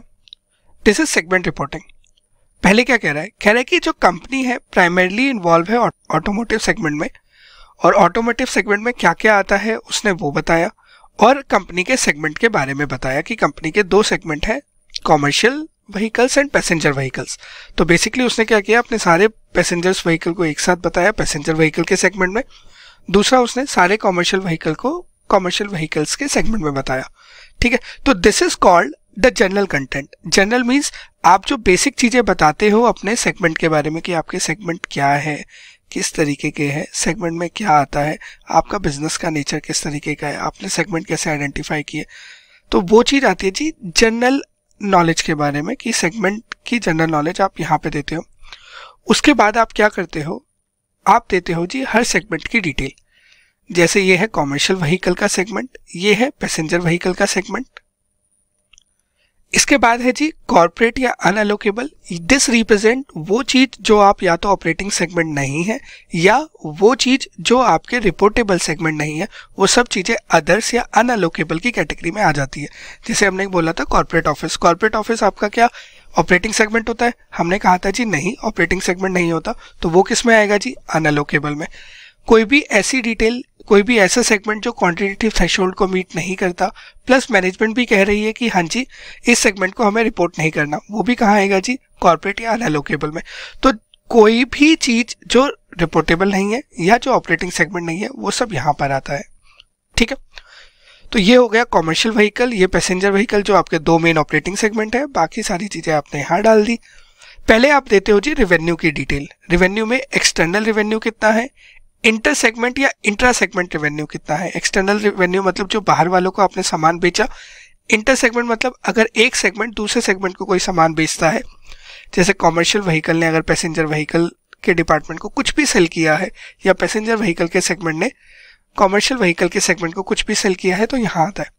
तो ये आपने एक्सटर्नल रिवेन्यू इसका लिखा, ये इसका लिखा, बाकी जो बच गया वो आपने यहाँ लिखा। मतलब इन दोनों सेगमेंट के अलावा जो भी बचा हो, यहाँ आ गया। अब यहाँ पे क्या क्या आ सकता है? यहाँ पे सोचो, जैसे कॉर्पोरेट है कॉर्पोरेट में आपके पास बैंक अकाउंट हो सकता है सेविंग्स होंगी फिक्स डिपॉजिट करा सकते हो, उस पर कुछ इंटरेस्ट मिला है तो वो यहाँ पे मिल सकता है। अगर आपने कहीं पे इन्वेस्टमेंट करी है तो उससे कुछ डिविडेंड मिला है, कुछ गेन वगैरह आया है तो वो यहाँ पर आ सकता है। ठीक है जी? ये जो नंबर है this should ideally match with your entity का जो फाइनेंशियल के अंदर रेवेन्यू आ रहा होगा, उससे मैच करना चाहिए। क्योंकि सेगमेंट की रिक्वायरमेंट होती है कि पहले आप सेगमेंट का रेवेन्यू देते हो, उसके बाद आप उसको रिकनसाइल करते हो कंपनी का जो टोटल रेवेन्यू है उससे। तो चलो, लगे हाथ में आपको वो भी दिखा देता हूँ। This four seven zero three one point four seven should be इसके स्टैंड लोन का रेवेन्यू लीजिए, मैं फटाफट इनके रेवेन्यू पे जंप मार के आपको लेके चलता हूँ। ये आएगा यहाँ पर, इनका रेवेन्यू आएगा पीएनएल के अंदर। ये देखिए। This is revenue from operation this is four seven zero three one point four seven total से टैली हो गया। करेक्ट चलो तो आपको एक चीज़ समझ आई कि जो भी आपका सेगमेंट होता है, आपको उस सेगमेंट से रिलेटेड क्या करना है? आपको रेवेन्यू की डिटेल देनी है और उसको टोटल से रिकनसाइल करना है टोटल से मैच कराना है। जो भी मैं बोल रहा हूँ, बड़े ध्यान से सुनना, समझना। एक तो जब आप इसको प्रैक्टिकली अप्लाई करेंगे, चाहे एज एन ऑडिटर चाहे एज एन अकाउंटेंट तो आपको अनडाउटली तब हेल्प रहेगी और जो मैं आपको बताने लग रहा हूँ, इससे हमारा पूरा कंसेप्ट भी बिल्ड हो जाएगा। तो पहली चीज़ हमने समझी कि हमें रेवेन्यू दिखाना है इंटरनल एक्सटर्नल दोनों इंटर सेगमेंट भी दिखाना है और उसको टोटल से रिकनसाइल करना है। टोटल विल बी योर जो कंपनी के फाइनेंशियल में मतलब बैलेंस शीट में और प्रॉफिट एंड लॉस में नंबर आ रहे हैं, उससे मैच करेगा। फिर आपको दिखाना है जी segment result segment result before other income excluding incentive finance cost forex loss exceptional item tax etcetera generally क्या होता है? आपको सेगमेंट का प्रॉफिट बिफोर टैक्स दिखाना होता है। अब होता क्या है? फॉरेन एक्सचेंज लॉस हो गया फाइनेंस कॉस्ट हो गया अदर इनकम ये चीज़ें ना बांटी जानी थोड़ी सी मुश्किल हो जाती है किसी पर्टिकुलर सेगमेंट पे। इसीलिए इसको अलोकेट अगर आप कर सकते हो तो कर दीजिए, नहीं कर सकते तो नहीं कीजिए। वो आपके ऊपर है। प्लस आपका सीओडीएम किस तरीके से देखता है। तो हमने बेसिकली अगर मैं सिंपल शब्दों में बोलूँ तो this is segment profit before tax इस तरीके से। ये इसका है, ये पैसेंजर व्हीकल का है, ये अदर्स जो बचे थे उनका है। फिर आप इसको किससे, ये टोटल हो गया, इस टोटल को आप रिकनसाइल करोगे, जो आपकी कंपनी का profit and loss before tax आएगा, आप उससे रिकनसाइल करोगे। कैसे रिकनसाइल किया? ये आपके सेगमेंट्स हो गए सारे। ये आपने कहा अदर इनकम इतनी है फॉरेन एक्सचेंज इतना है फाइनेंस कॉस्ट इतनी है फॉरेन एक्सचेंज इतना है एक्सेप्शनल गेन लॉस इतना है तो आपका जो टोटल नंबर आया है this is two three one two point five seven this should ideally match with the profit और loss before tax of your financial statement देखना चाहेंगे? लो, देख लो। आपको वो दिल कर रहा है तो वो भी दिखा देते हैं। सीधे चलते हैं इनके प्रॉफिट एंड लॉस पर। लीजिए। ये आ गया कैश फ्लो कैश फ्लो के ऊपर आता है आपका profit and loss before tax देखिए कितना है। Two three one two point five seven this is profit and loss before tax इससे उसने मैच करा दिया। मैं वापस लेके आ रहा हूँ नीचे आपको। इस एनुअल रिपोर्ट का खुद भी चाहे तो एक बार स्क्रॉल कर सकते हैं, कोई दिक्कत नहीं है। देखिए two three one two point five seven तो अपने को यहाँ से ही समझ आया कि अपने को हर सेगमेंट का प्रॉफिट बिफोर टैक्स तो दिखाना ही है बट अगर सीओडीएम कुछ और देखता है इबिटा देख रहा है ईपीआईटी देख रहा है तो हमें वो भी दिखाना पड़ सकता है। डेट डिपेंड्स कि सीओडीएम क्या देख रहा है। हम मान रहे हैं यहाँ पे सीओडीएम जो है प्रॉफिट और लॉस बिफोर टैक्स देखता है तो इन्होंने profit and loss before tax दिखाया। फिर हमने उसको एंटिटी के profit and loss before tax से रिकनसाइल किया। ठीक है? इसके अलावा स्टैंडर्ड कहता है आपको ना, जो भी आपके आपने ये सेगमेंट्स लिखे हैं, आपको बताना है कि कितना डेप्रिशिएशन का खर्चा है अमोर्टाइजेशन का खर्चा है। कितना कैपिटल एक्सपेंडिचर आपने किया है हर एक सेगमेंट के अंदर? तो ये तो हो गया आपका रेवेन्यू और पी एंडल से रिलेटेड चीज़ें। फिर आप बताते हो सेगमेंट एसेट के बारे में और सेगमेंट लाइबिलिटी के बारे में। हमेशा याद रखना, जो भी चीज़ें आप इसमें दिखा रहे हो segment revenue segment profit and loss segment asset और सेगमेंट लाइबिलिटी आप चारों को एंटिटी के मतलब कंपनी के जो बैलेंस शीट और पीएनएल में टोटल दिख रहे हैं, उनसे भी टैली करोगे। जैसे आपने कहा सेगमेंट एसेट तो आपने यहाँ लिखा दोनों सेगमेंट के एसेट इतने इतने हैं तो ये टोटल लिख दिया। अब इस टोटल को आपको कंपनी के टोटल एसेट से भी टैली करना है। कंपनी का टोटल एसेट है जी six five zero five nine point six six अभी दिखा देता हूँ थोड़ी देर में। इसके बीच में रिकनसाइलिंग आइटम है एसेट हेल्ड फॉर सेल कोई भी इन्वेस्टमेंट है वो other investment taxes corporate unallocable assets ऐसे एसेट जो आपने कहीं पे अलोकेट नहीं कर पाए, वो सारे लिखने के बाद आपने कंपनी के टोटल एसेट से टैली किया। फिर आपने सेगमेंट की लाइबिलिटी दिखाई। ये सेगमेंट की लाइबिलिटी है दोनों की। फिर उसको आपने कंपनी की टोटल लाइबिलिटी से टैली किया। इसके अंदर आपने बोरिंग्स डाला करंट लाइबिलिटी डेफर टैक्स और कॉर्पोरेट अनएलोकेबल लाइबिलिटीज जनरली क्या होता है, जैसे बोरिंग्स है बोरिंग्स आप कंपनी लेवल पे लेते हो तो कंपनी लेवल पे है तो पूरी कंपनी से रिलेटेड हो जाती है, इसीलिए आप उसको एलोकेट नहीं कर पाते। टैक्सेस हैं डेफर टैक्स हो करंट टैक्स हो, ये एंटिटी लेवल पर होता है कंपनी लेवल पे होता है, इसीलिए आप उसे एलोकेट नहीं कर सकते। बट अगर आप किसी पर्टिकुलर सेगमेंट से रिलेटेड अगर बोरिंग लेते हो तो आप एलोकेट कर सकते हो। तो that depends on facts cases and circumstance कि किस सिचुएशन में आप हैं। ये चीज़ याद रखिएगा। तो अगर आप एलोकेट नहीं कर सकते तो आपको उसे रिकनसाइलिंग आइटम में दिखाना पड़ेगा। तो अभी तक जो भी चीज़ हमने देखी, उससे क्रक्स ये निकल कर आया है कि पहले आप जनरल इन्फॉर्मेशन देंगे, जिसमें आप अपने सेगमेंट के बारे में बताएँगे कि आपका सेगमेंट किस तरीके का है, सारी इन्फॉर्मेशन वो बताएँगे। फिर आप हर सेगमेंट से रिलेटेड रेवेन्यू बताएँगे इंटरनल एक्सटर्नल दोनों। Profit and loss before tax कम से कम इतना तो बताएँगे ही बट अगर आपका सीओडीएम कुछ और देख रहे हैं तो आप वो बताएँगे। जैसे बेड्डा या ईबीआईटी तो आपको वो बताना पड़ेगा। डेप्रिशिएशन एंड कैपिटल एक्सपेंडिचर आपको बताना पड़ेगा। फिर आपको सेगमेंट एसेट्स बताने हैं सेगमेंट लाइबिलिटी बतानी है और इन सब चीज़ों को आपको उसके फाइनेंशियल के टोटल से टैली भी कराना है। तो चलो, लगे हाथ में आपको ये टैली करा देता हूँ कि ये जो टोटल एसेट आ रहे हैं, ये बैलेंस शीट के टोटल एसेट होंगे और ये जो टोटल लाइबिलिटी आ रही है, ये बैलेंस शीट की टोटल लाइबिलिटी होगी। नंबर देख लो ध्यान से six five zero five nine point six six और फिर four six double zero three point six nine चलो जी balance sheet and P and L पे आ जाते हैं इनके स्ट्रेट फॉरवर्ड वैसे लाइबिलिटीज और एसेट्स कहाँ आते हैं? बैलेंस शीट में पी एंडल में? आने तो देखो, मेरे दोस्त बैलेंस शीट में चाहिए तो बैलेंस शीट से टोटल टैली कर लेते हैं। लो जी। आपने टोटल एसेट कितने बोले थे? Six five zero five nine point six six और अगर मैं टोटल लाइबिलिटी की बात करूँ तो टोटल लाइबिलिटी क्या होगा आपका? टोटल लाइबिलिटी होगी मेरे दोस्त non current liability plus current liability liability में वो शेयर होल्डर फंड को नहीं लेके चलता, अलग रख के चलता है। आप चाहते तो उसे दिखा सकते थे, चाहो तो नहीं दिखाओ। ऐसी कोई मेंडेशन नहीं है। तो अगर आप इन दोनों का टोटल कर लो one nine seven five two point one four और two six two five one point five five तो आपका उस लाइबिलिटी के टोटल से मैच हो जाएगा। ठीक है? तो ये तो हमने आपको सेगमेंट दिखा दिया। अब सेगमेंट में क्या होता है? जैसे ये करंट ईयर है, ये मार्च 21 का ईयर है सिमिलरली आपको पिछले साल के भी दिखाने पड़ेंगे, क्योंकि कंपेरेटिव नंबर तो देने पड़ते हैं ना। तो नीचे आ गए जी मार्च 20 के सिमिलर डेटा वही सेगमेंट की सारी डिटेल जो आपने ऊपर देखी थी बट ये पिछले साल की है। याद करो, हमने एक चीज़ डिस्कस करी थी, कभी भी ऐसा हो कि अगर आपका कोई नया सेगमेंट आ जाता है जो पिछले साल नहीं था तो आपको पिछले साल के नंबर बदलने पड़ते हैं। क्यों? मान लो, यहाँ पे कॉर्पोरेट या अनलोकेबल में कोई ऐसा नंबर था या कोई ऐसा सेगमेंट था जो पिछले साल सेगमेंट नहीं था बट मार्च इक्कीस में सेगमेंट बन गया तो आपको ये नंबर बदलने पड़ेंगे पिछले साल के। ठीक है? ये दो चीज़ें हो गई। एक चीज़ हमें और डिस्क्लोज करनी पड़ती है विच इज़ दिस आपका within India within India मतलब जिस कंट्री में आप बेस्ड हो, अब इंडियन कंपनीज़ है सारी तो सारी इंडिया में बेस्ड होगी। तो इंडिया में आपका कितना अमाउंट है और इंडिया से बाहर कितना अमाउंट है? किस चीज़ का? ध्यान से देखना। Net sales to external customer by location India मतलब जो भी आप एक्सटर्नल सेल्स कर रहे हो, बाहर वालों को सेल कर रहे हो इंडिया में कितनी है इंडिया से बाहर कितनी है? Non current asset non current asset में क्या क्या property plant equipment are asset मतलब leases right of use assets is leases होती है intangible assets other non current assets goodwill तो इंडिया में कितनी है? इंडिया से बाहर कितनी है? ये आपको दिखानी पड़ेगी करंट ईयर और प्रीवियस ईयर दोनों की। इसे कहा जाता है मेरे दोस्त एंटिटी वाइड डिस्क्लोजर और you can say information concerning principal geographic areas geographic area से रिलेटेड बोल लीजिए, या फिर आप इसे बोल दीजिए एंटिटी वाइड डिस्क्लोजर हर कंपनी को एंटिटी वाइड डिस्क्लोजर तो देना है मतलब एक्सटर्नल रेवेन्यू को बाइफरकेट करना है इंडिया में कितना है इंडिया से बाहर कितना है non current asset other than defer tech financial instrument pension assets इन सब चीज़ों को छोड़ के जो नॉन करेंट एसेट बचते हैं, आपको उसका डिस्क्लोजर देना है। तो ओवरऑल ये डिस्क्लोजर्स होते हैं, जिसके अंदर आपका सेगमेंट का डिस्क्लोजर आ गया और एंटिटी वाइड डिस्क्लोजर आ गया करंट ईयर का और प्रीवियस ईयर का दोनों का होता है, ठीक है? एंटिटी वाइड डिस्क्लोजर मैं आपको थोड़ा सा और डिटेल दिखा देता हूँ। ये तो था इनका standalone financial standalone financial statement चलो मैं आपको कंसोलिडेटेड फाइनेंशियल स्टेटमेंट पे लेके चलता हूँ। वो और बहुत प्यारे वे में डिस्क्लोज है।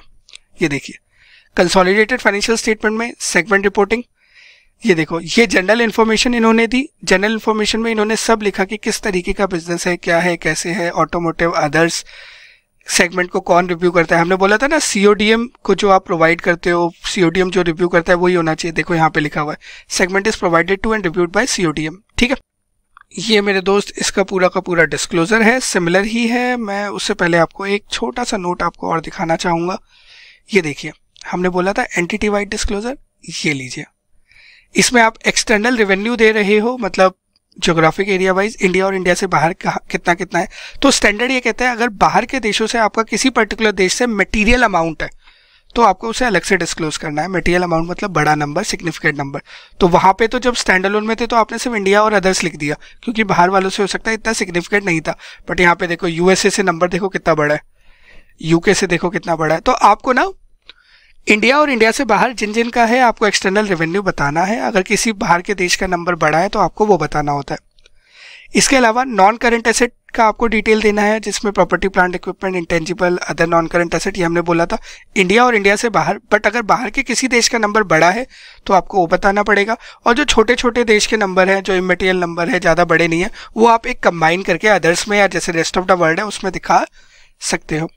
तो ये तो हो गया सेल्स का नंबर ये नॉन करंट एसेट का नंबर इसके अलावा आपको प्रोडक्ट रेवेन्यू भी बताना पड़ता है। अगर आपके जैसे यहाँ पे देखो Tata and Fiat vehicles Jaguar Land Rover vehicles तो अगर अलग अलग तरीके के प्रोडक्ट हैं अलग अलग तरीके के आपके सेल्स हैं तो आप प्रोडक्ट वाइज भी मोटा मोटा बता सकते हो। बट अगर मैं स्टैंड अलोन में था तो ऑटोमोटिव बिज़नेस ही था सीधा साधा और कॉमर्शियल व्हीकल और पैसेंजर व्हीकल थे, जो रेवेन्यू आपने ऑलरेडी सेगमेंट में ऊपर दिखाया हुआ था। इसलिए आपने उसे अलग से नहीं दिखाया था। ये चीज़ हो गई। चलो, अब एक बार सेगमेंट इन्फॉर्मेशन भी और देख लेते हैं। देख लेते हैं, कोई और ऐसी चीज़ तो नहीं है जो एक्स्ट्रा इन्होंने डिस्क्लोज करी है। ये देखो। हमने बोला था रेवेन्यू आप डिस्क्लोज करोगे एक्सटर्नल और इंटर सेगमेंट रेवेन्यूज फिर टोटल रेवेन्यू आ गया, ये आपका प्रॉफिट बिफोर टैक्स आ गया, फिर यहाँ पे आपने, देखो, यहाँ पे इसने बोला है कि बोराइंग को इसने एलोकेट कर दिया वहीकल के लिए यहाँ पर इतना है।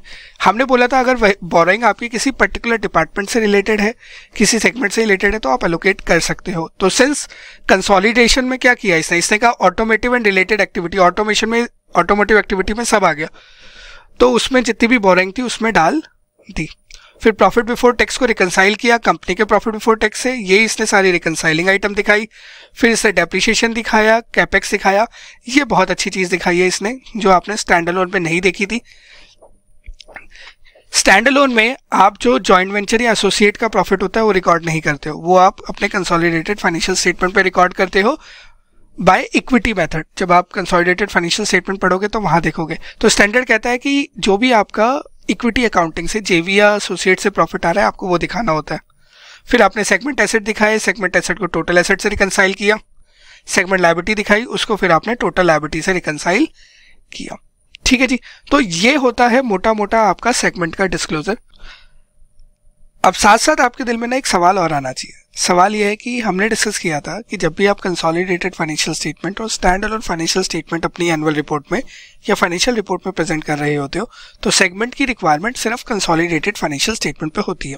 करेक्ट बट हमने साथ साथ एक और चीज़ सोचो, हमने एक और चीज़ डिस्कस करी थी। हमने कहा था मैंडेटरी नहीं है। कंपनी चाहे तो स्टैंड अलोन में डिस्कस करना है तो कर। सकती है, कोई चैलेंज नहीं है। करेक्ट चलो हम आपको साथ साथ एक बार रिलायंस की बैलेंस शीट भी दिखा देते हैं। This is Reliance Industries Limited integrated annual account 2021 लो जी सेगमेंट का डिस्क्लोजर ये देख लो नोट नंबर 38 पढ़ लो। As per Ind AS 108 segment information has been provided under the notes to consolidated financial statement ये है इसकी, मेरे दोस्त कौन सी फाइनेंशियल स्टेटमेंट ये लिखा हुआ स्टैंड अलोन फाइनेंशियल स्टेटमेंट तो स्टैंड अलोन में इन्होंने लिख के दिया है कि हमने इसको कहाँ प्रेजेंट किया है? कंसोलिडेटेड फाइनेंशियल स्टेटमेंट में प्रेजेंट किया है। स्टैंड अलोन में हम प्रेजेंट नहीं कर तो हमने यही पढ़ा था कि अगर आप दोनों प्रेजेंट कर रहे हो तो मैंडेटरी नहीं है। आप चाहो तो करो, चाहो तो मत करो। ठीक है? चलो, अब एक बार जो भी चीज़ हमने अभी तक देखी है, एक बार हम उसका थ्योरी कंटेंट भी कवर कर लेते हैं। चलिए, अब बात करते हैं कि स्टैंडर्ड में क्या क्या डिस्क्लोजर गिवन है। वैसे तो हम लोगों ने टाटा मोटर्स की बैलेंस शीट से एनुअल रिपोर्ट से काफ़ी हद तक डिस्क्लोजर को समझ लिया है। अगर मैं ब्रॉडली बात करूँ ना तो 90 परसेंट सेम ही मिलने वाला है कंटेंट यहाँ पे भी। पाँच दस परसेंट का कुछ फ़र्क है, जैसे मेज़रमेंट बेसिस पे और एक दो चीज़ों पे तो वो अभी डिस्कस कर लेते हैं। आपको क्या क्या चीज़ें डिस्क्लोज करनी है? आपको बतानी है जी, सबसे पहले जनरल इन्फॉर्मेशन जनरल इन्फॉर्मेशन जैसे हमने पढ़ी थी कि किस तरीके से आपने सेगमेंट आइडेंटिफाई किए हैं, क्या आपके प्रोडक्ट सर्विसेज़ हैं? बेसिक अंडरस्टैंडिंग देनी है थोड़ी सी। आपको हर सेगमेंट से रिलेटेड कुछ इन्फॉर्मेशन डिस्क्लोज करनी है, जैसे segment asset segment liability segment profit and loss and segment revenue and their measurement basis की आपने उसे कैसे मेजर किया है। अब आप सोचोगे कि आपको एनुअल रिपोर्ट में मेज़रमेंट बेसिस नज़र नहीं आया। जनरली क्या होता है कि जिस तरीके से आप अकाउंट्स बना रहे हो, जिस तरीके की आपकी अकाउंटिंग पॉलिसी है, आप सेगमेंट भी उसी तरीके से मेजर करते हो। इसलिए अलग से कुछ दिखाने की ज़रूरत नहीं पड़ती। बट अगर कभी अलग होता है तो आपको अलग से दिखाना पड़ सकता है। Third is reconciliation of segment amount with total amount reported in financials जो भी फाइनेंशियल स्टेटमेंट में टोटल अमाउंट आ रहे हैं सेगमेंट के टोटल अमाउंट को उनसे रिकनसाइल करना है। And last is entity wide disclosure ये हम ऑलरेडी पढ़ चुके हैं। चलो, अब इन चारों के ऊपर बात करते हैं। अगर मैं जनरल इन्फॉर्मेशन की बात करूँ तो आपको बताना है factors use to identify entities reportable segment किस किस चीज़ों के बेसिस पे आपने अपने सेगमेंट को आइडेंटिफाई किया? क्या जजमेंट यूज़ करी है? अगर आपने एग्रीगेशन क्राइटेरिया लगाया है कौन कौन से ऑपरेटिंग सेगमेंट है जो एग्रीगेट हुए हैं? और कौन से इकोनॉमिक इंडिकेटर है जो आपने एसेस किए हैं? What are your type of product और सर्विसेज़ जिनसे आपको रेवेन्यू आ रहा है? ये चीज़ें आपको बतानी होती है।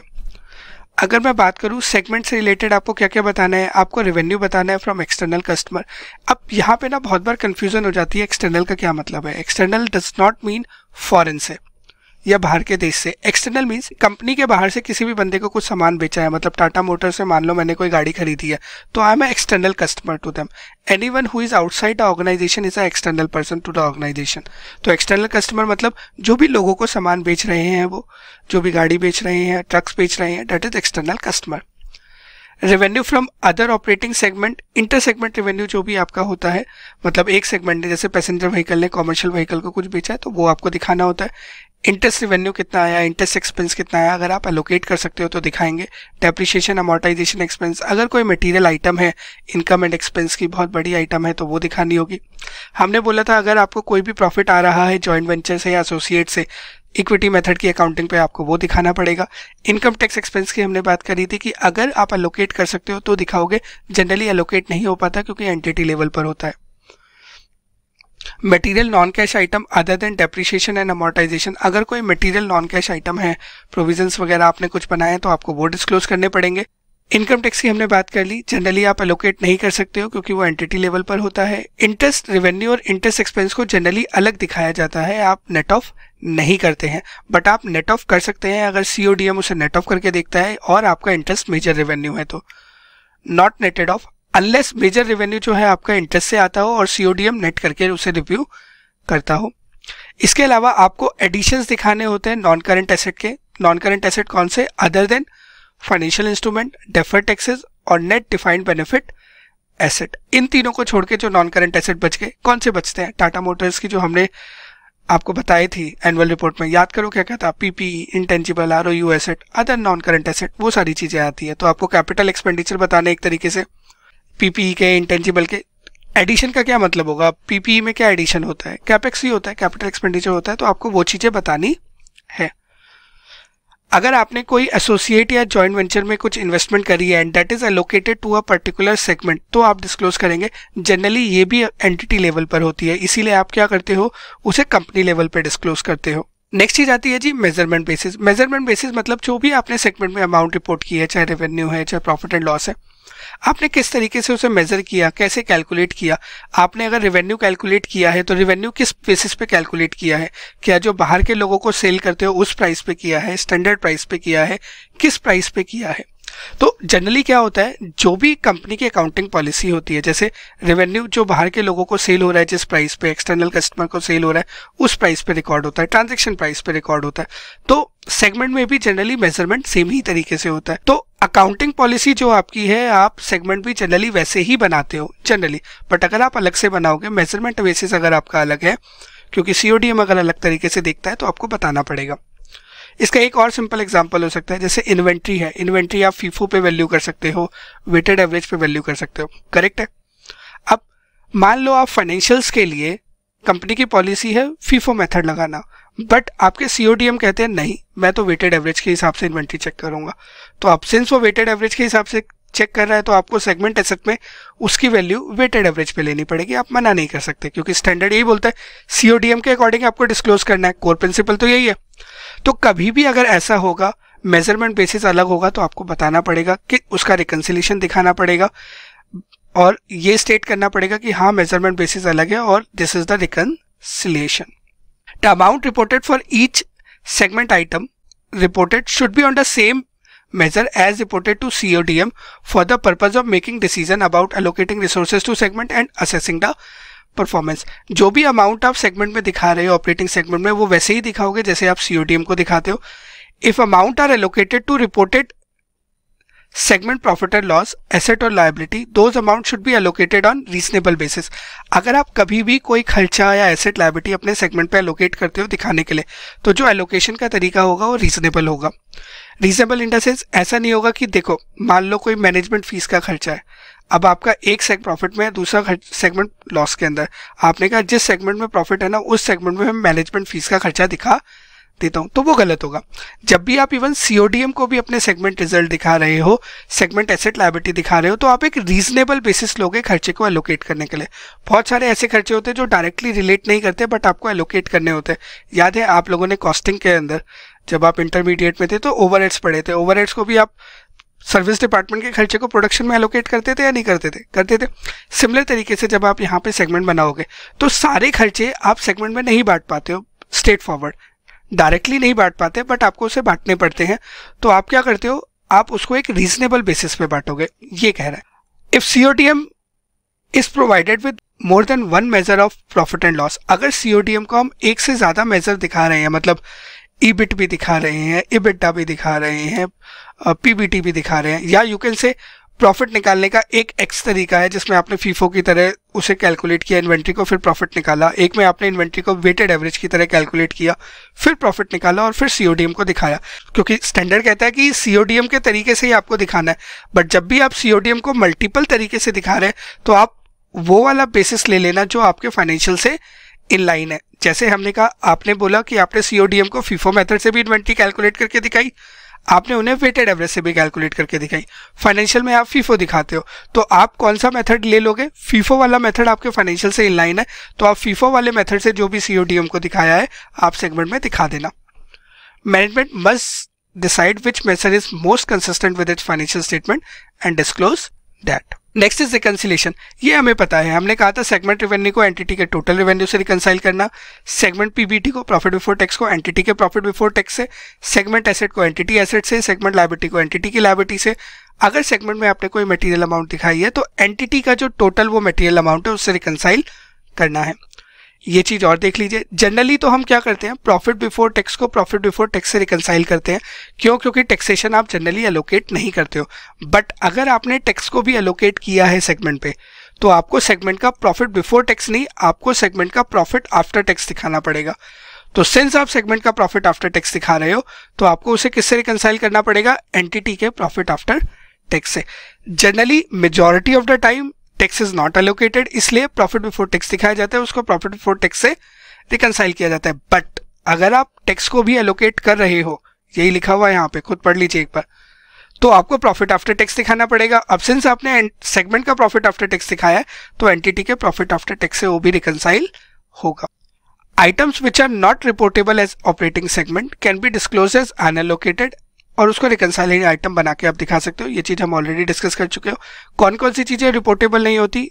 ऐसे ऑपरेटिंग सेगमेंट जो रिपोर्टेबल नहीं है मतलब उसने क्वांटिटेटिव थ्रेशोल्ड क्रॉस नहीं किया या कोई अनअलोकेबल आइटम है, जैसे कॉर्पोरेट ऑफ़िस या हेड ऑफ़िस के खर्चे या शेयर कैपिटल एक्सेट्रा जो भी आपकी मटेरियल रिकनसाइलिंग आइटम होती है, वो आपको अलग से दिखानी होती है और डिस्क्राइब करनी होती है। याद करो, जब हम टाटा मोटर्स की एनुअल रिपोर्ट देख रहे थे तो हमने देखा था जब आप सेगमेंट लाइबिलिटी को टोटल लाइबिलिटी से रिकनसाइल कर रहे हो तो आपने लिखा था एक बोरोइंग दूसरा टैक्सेस तीसरा चौथा था आपका अदर्स और तीसरा शायद आपका था डेफर्ड बेनिफिट था या फिर डेफर्ड टैक्स था, कुछ था ऐसे। आई डोंट एक्जेक्टली रिमेंबर तो आपने क्या किया? जो आइटम मटेरियल थी, वो तो अलग से दिखा दी। जैसे बोरिंग मटेरियल था, वो दिखा दिया। टैक्सेस मटेरियल आइटम थी, वो दिखा दी। बाकी सब आपने अदर्स के अंदर क्लब करके दिखा दिया। तो यही स्टैंडर्ड कह रहा है कि जो भी आपकी मटेरियल आइटम है, वो आपको अलग से दिखानी है। बाकी सब आप अदर्स में क्लब करके दिखा सकते हो।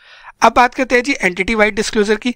तो एंटिटी वाइड डिस्क्लोजर में क्या आता है? This to be disclose by all entities चाहे आपका सेगमेंट हो, एक हो मल्टीपल सेगमेंट हो, कितने भी सेगमेंट हो इवन सेगमेंट नहीं भी है, आप सिर्फ़ एक ही चीज़ का काम करते हो, तब भी आपको एंटिटी वाइड डिस्क्लोजर दिखाना है। Presented only if it is not presented as a part of reportable segment information अगर ये चीज़ आपने सेगमेंट में प्रेजेंट नहीं करी है तो आपको प्रेजेंट करनी है।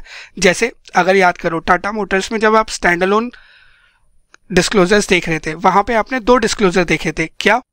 रेवेन्यू और नॉन करंट एसेट का बाइफर्केशन वहाँ पे आपने प्रोडक्ट और सर्विसेज़ का रेवेन्यू नहीं देखा था, जो आपने कंसोलिडेटेड में देखा था। एक बार आप एनुअल रिपोर्ट और प्रीवियस वीडियो को जाके देख सकते हो। इसलिए नहीं देखा था, क्यों? क्योंकि आपने स्टैंड में क्या था आपका सेगमेंट कॉमर्शियल व्हीकल और पैसेंजर व्हीकल वो तो आपने ऊपर जब आप सेगमेंट दिखा रहे थे, वहाँ दिखाई दिया था। करेक्ट और रॉन्ग जब हमने डिस्कस किया था कंसोलिडेटेड में, हमने दिखाया था आपको क्या एंटिटी वाइड डिस्क्लोजर में उन्होंने मल्टीपल चीज़ें दिखाई थी। चलो let me take you directly over there ये देखिए। इससे आपको और क्लियर हो जाएगा। ये देखो। जब आप इंफॉर्मेशन प्रेजेंट कर रहे थे तो यहाँ पे आपने प्रोडक्ट सर्विसेज़ की इन्फॉर्मेशन अलग अलग दी थी।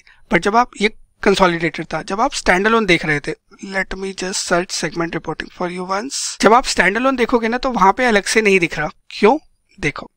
यहाँ पे देखो नेट सेल दिखाई नॉन करंट एसेट दिखाया अब यहाँ पे क्यों नहीं दिख रहा? क्योंकि हमारी सेल दो ही चीज़ों से है। पैसेंजर व्हीकल कॉमर्शियल व्हीकल वो ऊपर दिखाई दिया मैंने। ये देखो, ये आ गया रिवेन्यू इसलिए मुझे अलग से दिखाने की ज़रूरत नहीं है। ठीक है? तो यही लिखा हुआ है कि अगर आपने उसमें प्रेजेंट कर दिया है तो आप प्रेजेंट मत करो बट नहीं किया तो अलग से दिखाओ। इन्फॉर्मेशन किस किस से रिलेटेड आएगी? प्रोडक्ट सर्विसेज़ से रिलेटेड आएगी। जोग्राफिक एरिया से रिलेटेड आएगी, जिसमें आप दो चीज़ें देते हो, एक रेवेन्यू दूसरा नॉन करंट एसेट तीसरा आपको एक और इंपॉर्टेंट इंफॉर्मेशन देनी होती है, ये वहाँ पर नहीं थी। This is information about major customer अगर कोई बहुत बड़ा कस्टमर है, जिससे आपका सिग्निफिकेंट रेवेन्यू है तो आपको उसकी इंफॉर्मेशन भी डिस्क्लोज करनी है। क्या है? थोड़ी देर में देखते हैं। प्रोडक्ट सर्विसेज़ हमें समझ आ गया। जोग्राफिकल एरिया भी हमने देख लिया था कि आपको बाइफरकेट करना है। रेवेन्यू को और नॉन करंट एसेट को किसमें? कंट्री ऑफ़ डोमिसाइल जिस कंट्री में आप बेचते हो, आप सिंस सारी इंडियन कंपनी है तो आप इंडिया में बेचते हो। इसीलिए विद इन इंडिया और आउटसाइड इंडिया आपको दिखाना है। नॉन करेंट एसेट आपको दिखाने हैं। नॉन करंट एसेट में क्या नहीं दिखाना? Financial instrument taxes post employment benefits insurance contracts के राइट ये नहीं दिखाने। तो बेसिकली दिखाना क्या है? PP intangible other N C R वो दिखाना है। अगर रेवेन्यू या नॉन करंट एसेट किसी भी फॉरेन कंट्री से मटेरियल अमाउंट है तो आपको वो दिखाना है। ये हमने कंसोलिडेटेड फाइनेंशियल स्टेटमेंट जब देख रहे थे टाटा मोटर की, तब देखा था। इन्फॉर्मेशन अबाउट मेजर कस्टमर अगर कोई भी ऐसा कस्टमर है जिसके आपका रेवेन्यू 10 परसेंट से ज़्यादा है तो आपको ये बताना पड़ेगा कि देर आर कस्टमर जिनसे हम 10 परसेंट से ज़्यादा रेवेन्यू जिनसे आता है प्लस कितना रेवेन्यू आता है, कौन से सेगमेंट से रिलेटेड है, ये बताना है। Identity of the customer is not required आपको कस्टमर का नाम बताने की ज़रूरत नहीं है। Then disclose this fact give amount of revenue segment किससे वो कस्टमर रिलेटेड है identity of the customer is not required ठीक है?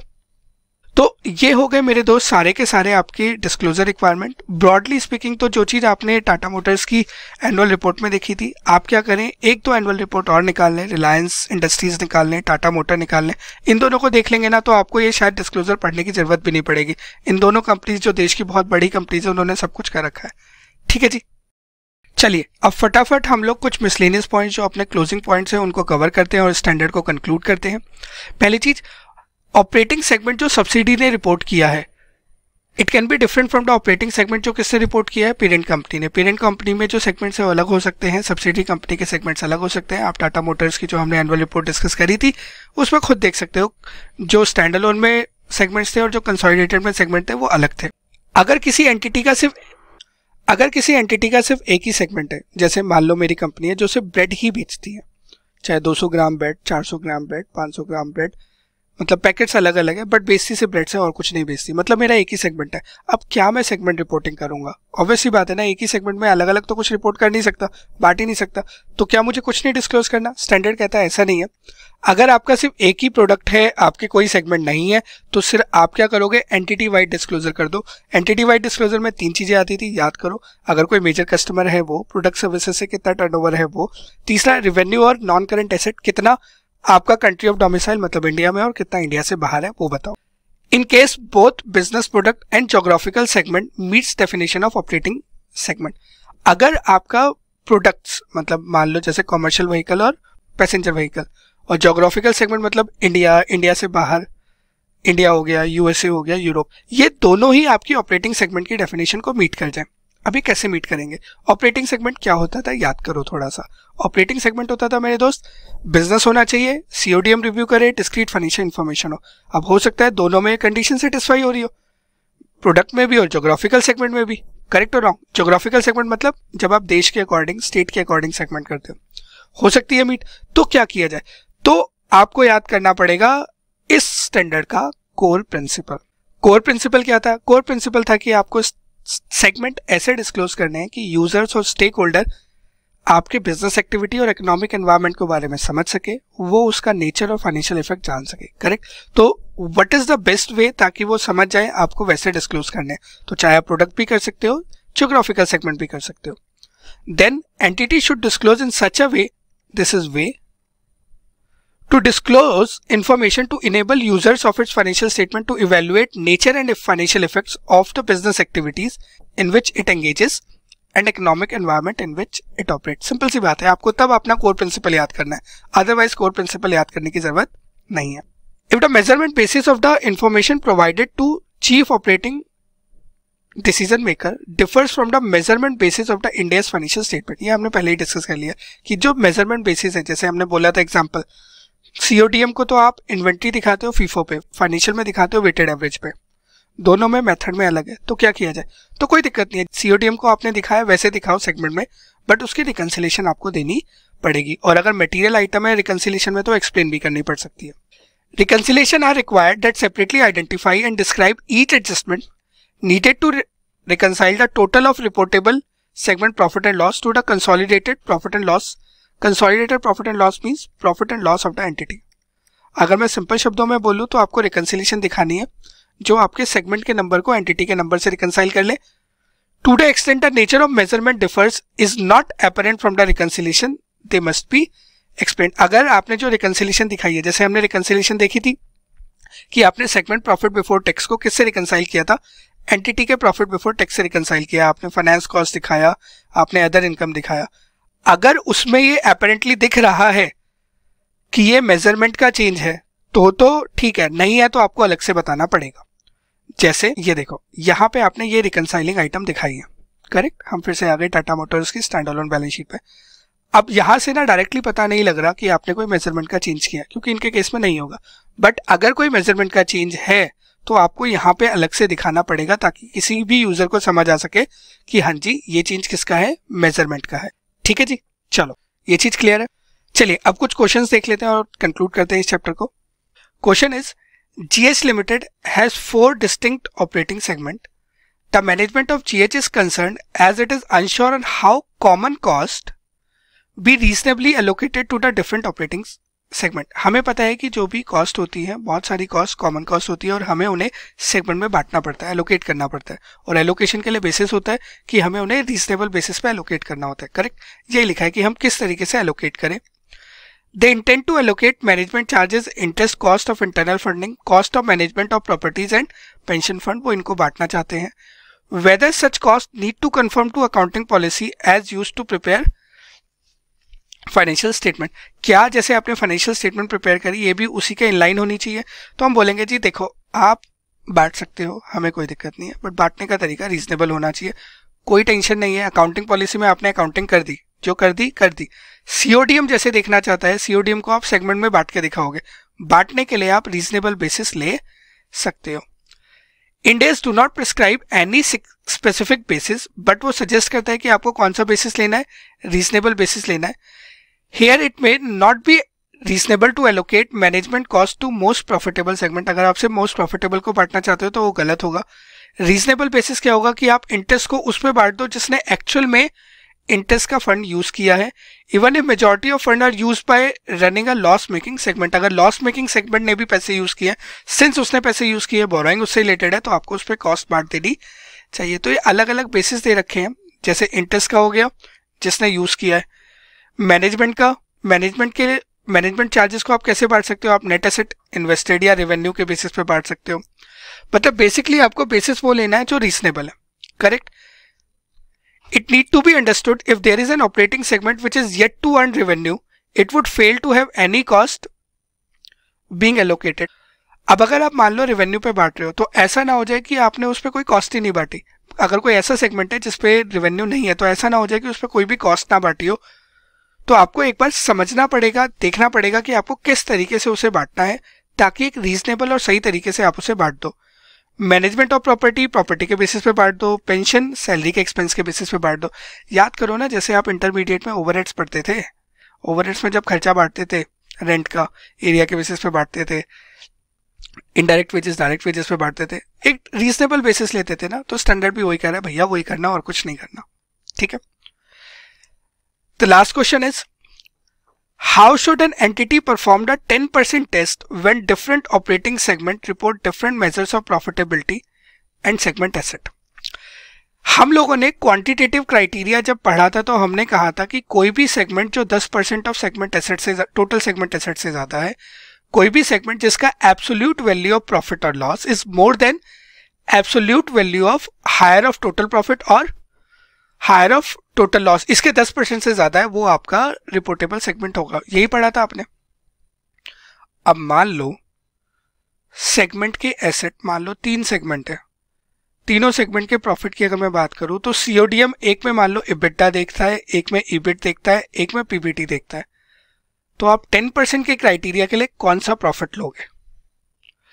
जो क्वांटिटेटिव क्राइटेरिया में टेन परसेंट का प्रॉफिट लेना है आपको वो सेगमेंट प्रॉफिट लेना है। Segment profit means the profit जो सीओडीएम देख रहा है। अब वो कौन सा लोगे तो वहाँ पे ना थोड़ा सा आपको जजमेंट यूज़ करनी पड़ेगी दिमाग लगाना पड़ेगा। ये अपने आईसीआई के एजुकेशन मटेरियल का क्वेश्चन है। तो उसमें क्या कहता है? इंडेस 108 does not specifically deal with such a situation where segment report different measures of profitability, asset and liability. However, in such a situation, a consistent basis of measurement should be developed by the entity to perform 10% test. क्या कहा उसने? उसने कहा कि आपको एक consistent basis बनाना पड़ेगा जो हर एक में कॉमन हो। फॉर एग्ज़ाम्पल अगर आपके तीन ऑपरेटिंग सेगमेंट है each segment uses different measures of profitability हर एक में अलग मेजर है। जैसे segment one is measured and reported to CODM on the basis of EBIT segment one जो है, आप सीओडीएम को ईबीआईटी e दिखाते हो। सेगमेंट टू एंड थ्री उसको मेजर करते हो और किस पे दिखाते हो? ईएटी e पे अर्निंग आफ्टर टैक्स पे। हमें पता है कि जो टेन परसेंट का क्राइटेरिया है, उसके लिए जो आप बेसिस लेते हो प्रॉफिट का या फिर एसेट का लाइबिलिटी का, वो वो लेना है जो सीओडीएम देखता है। अब अगर सीओडीएम हर एक सेगमेंट में अलग अलग देख रहा है तो आप क्या करोगे? तो स्टैंडर्ड कहता है, कुछ कॉमन निकाल लो।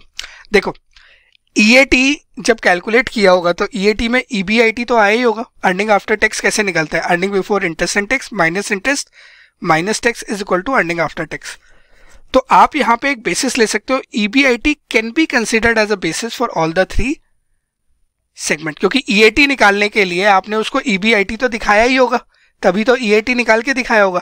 तो ईबीआईटी दिखाया या ईबीआईटी दोनों में कॉमन है तो वो बेसिस आप यूज़ कर सकते हो। So this is a very judgmental thing आपको facts to facts case to case देखना पड़ेगा कि क्या चीज़ कॉमन है, जिसके बेसिस पे आप एलोकेट कर सको। In this case EBIT is the lowest measure that is available and that is provided to CODM for all three segment. There हम उसका बेसिस ले सकते हैं। ये क्वेश्चन बहुत इंपॉर्टेंट है, क्योंकि प्रैक्टिकल लाइफ में ना ऐसे बहुत सारे चैलेंजेस आते हैं।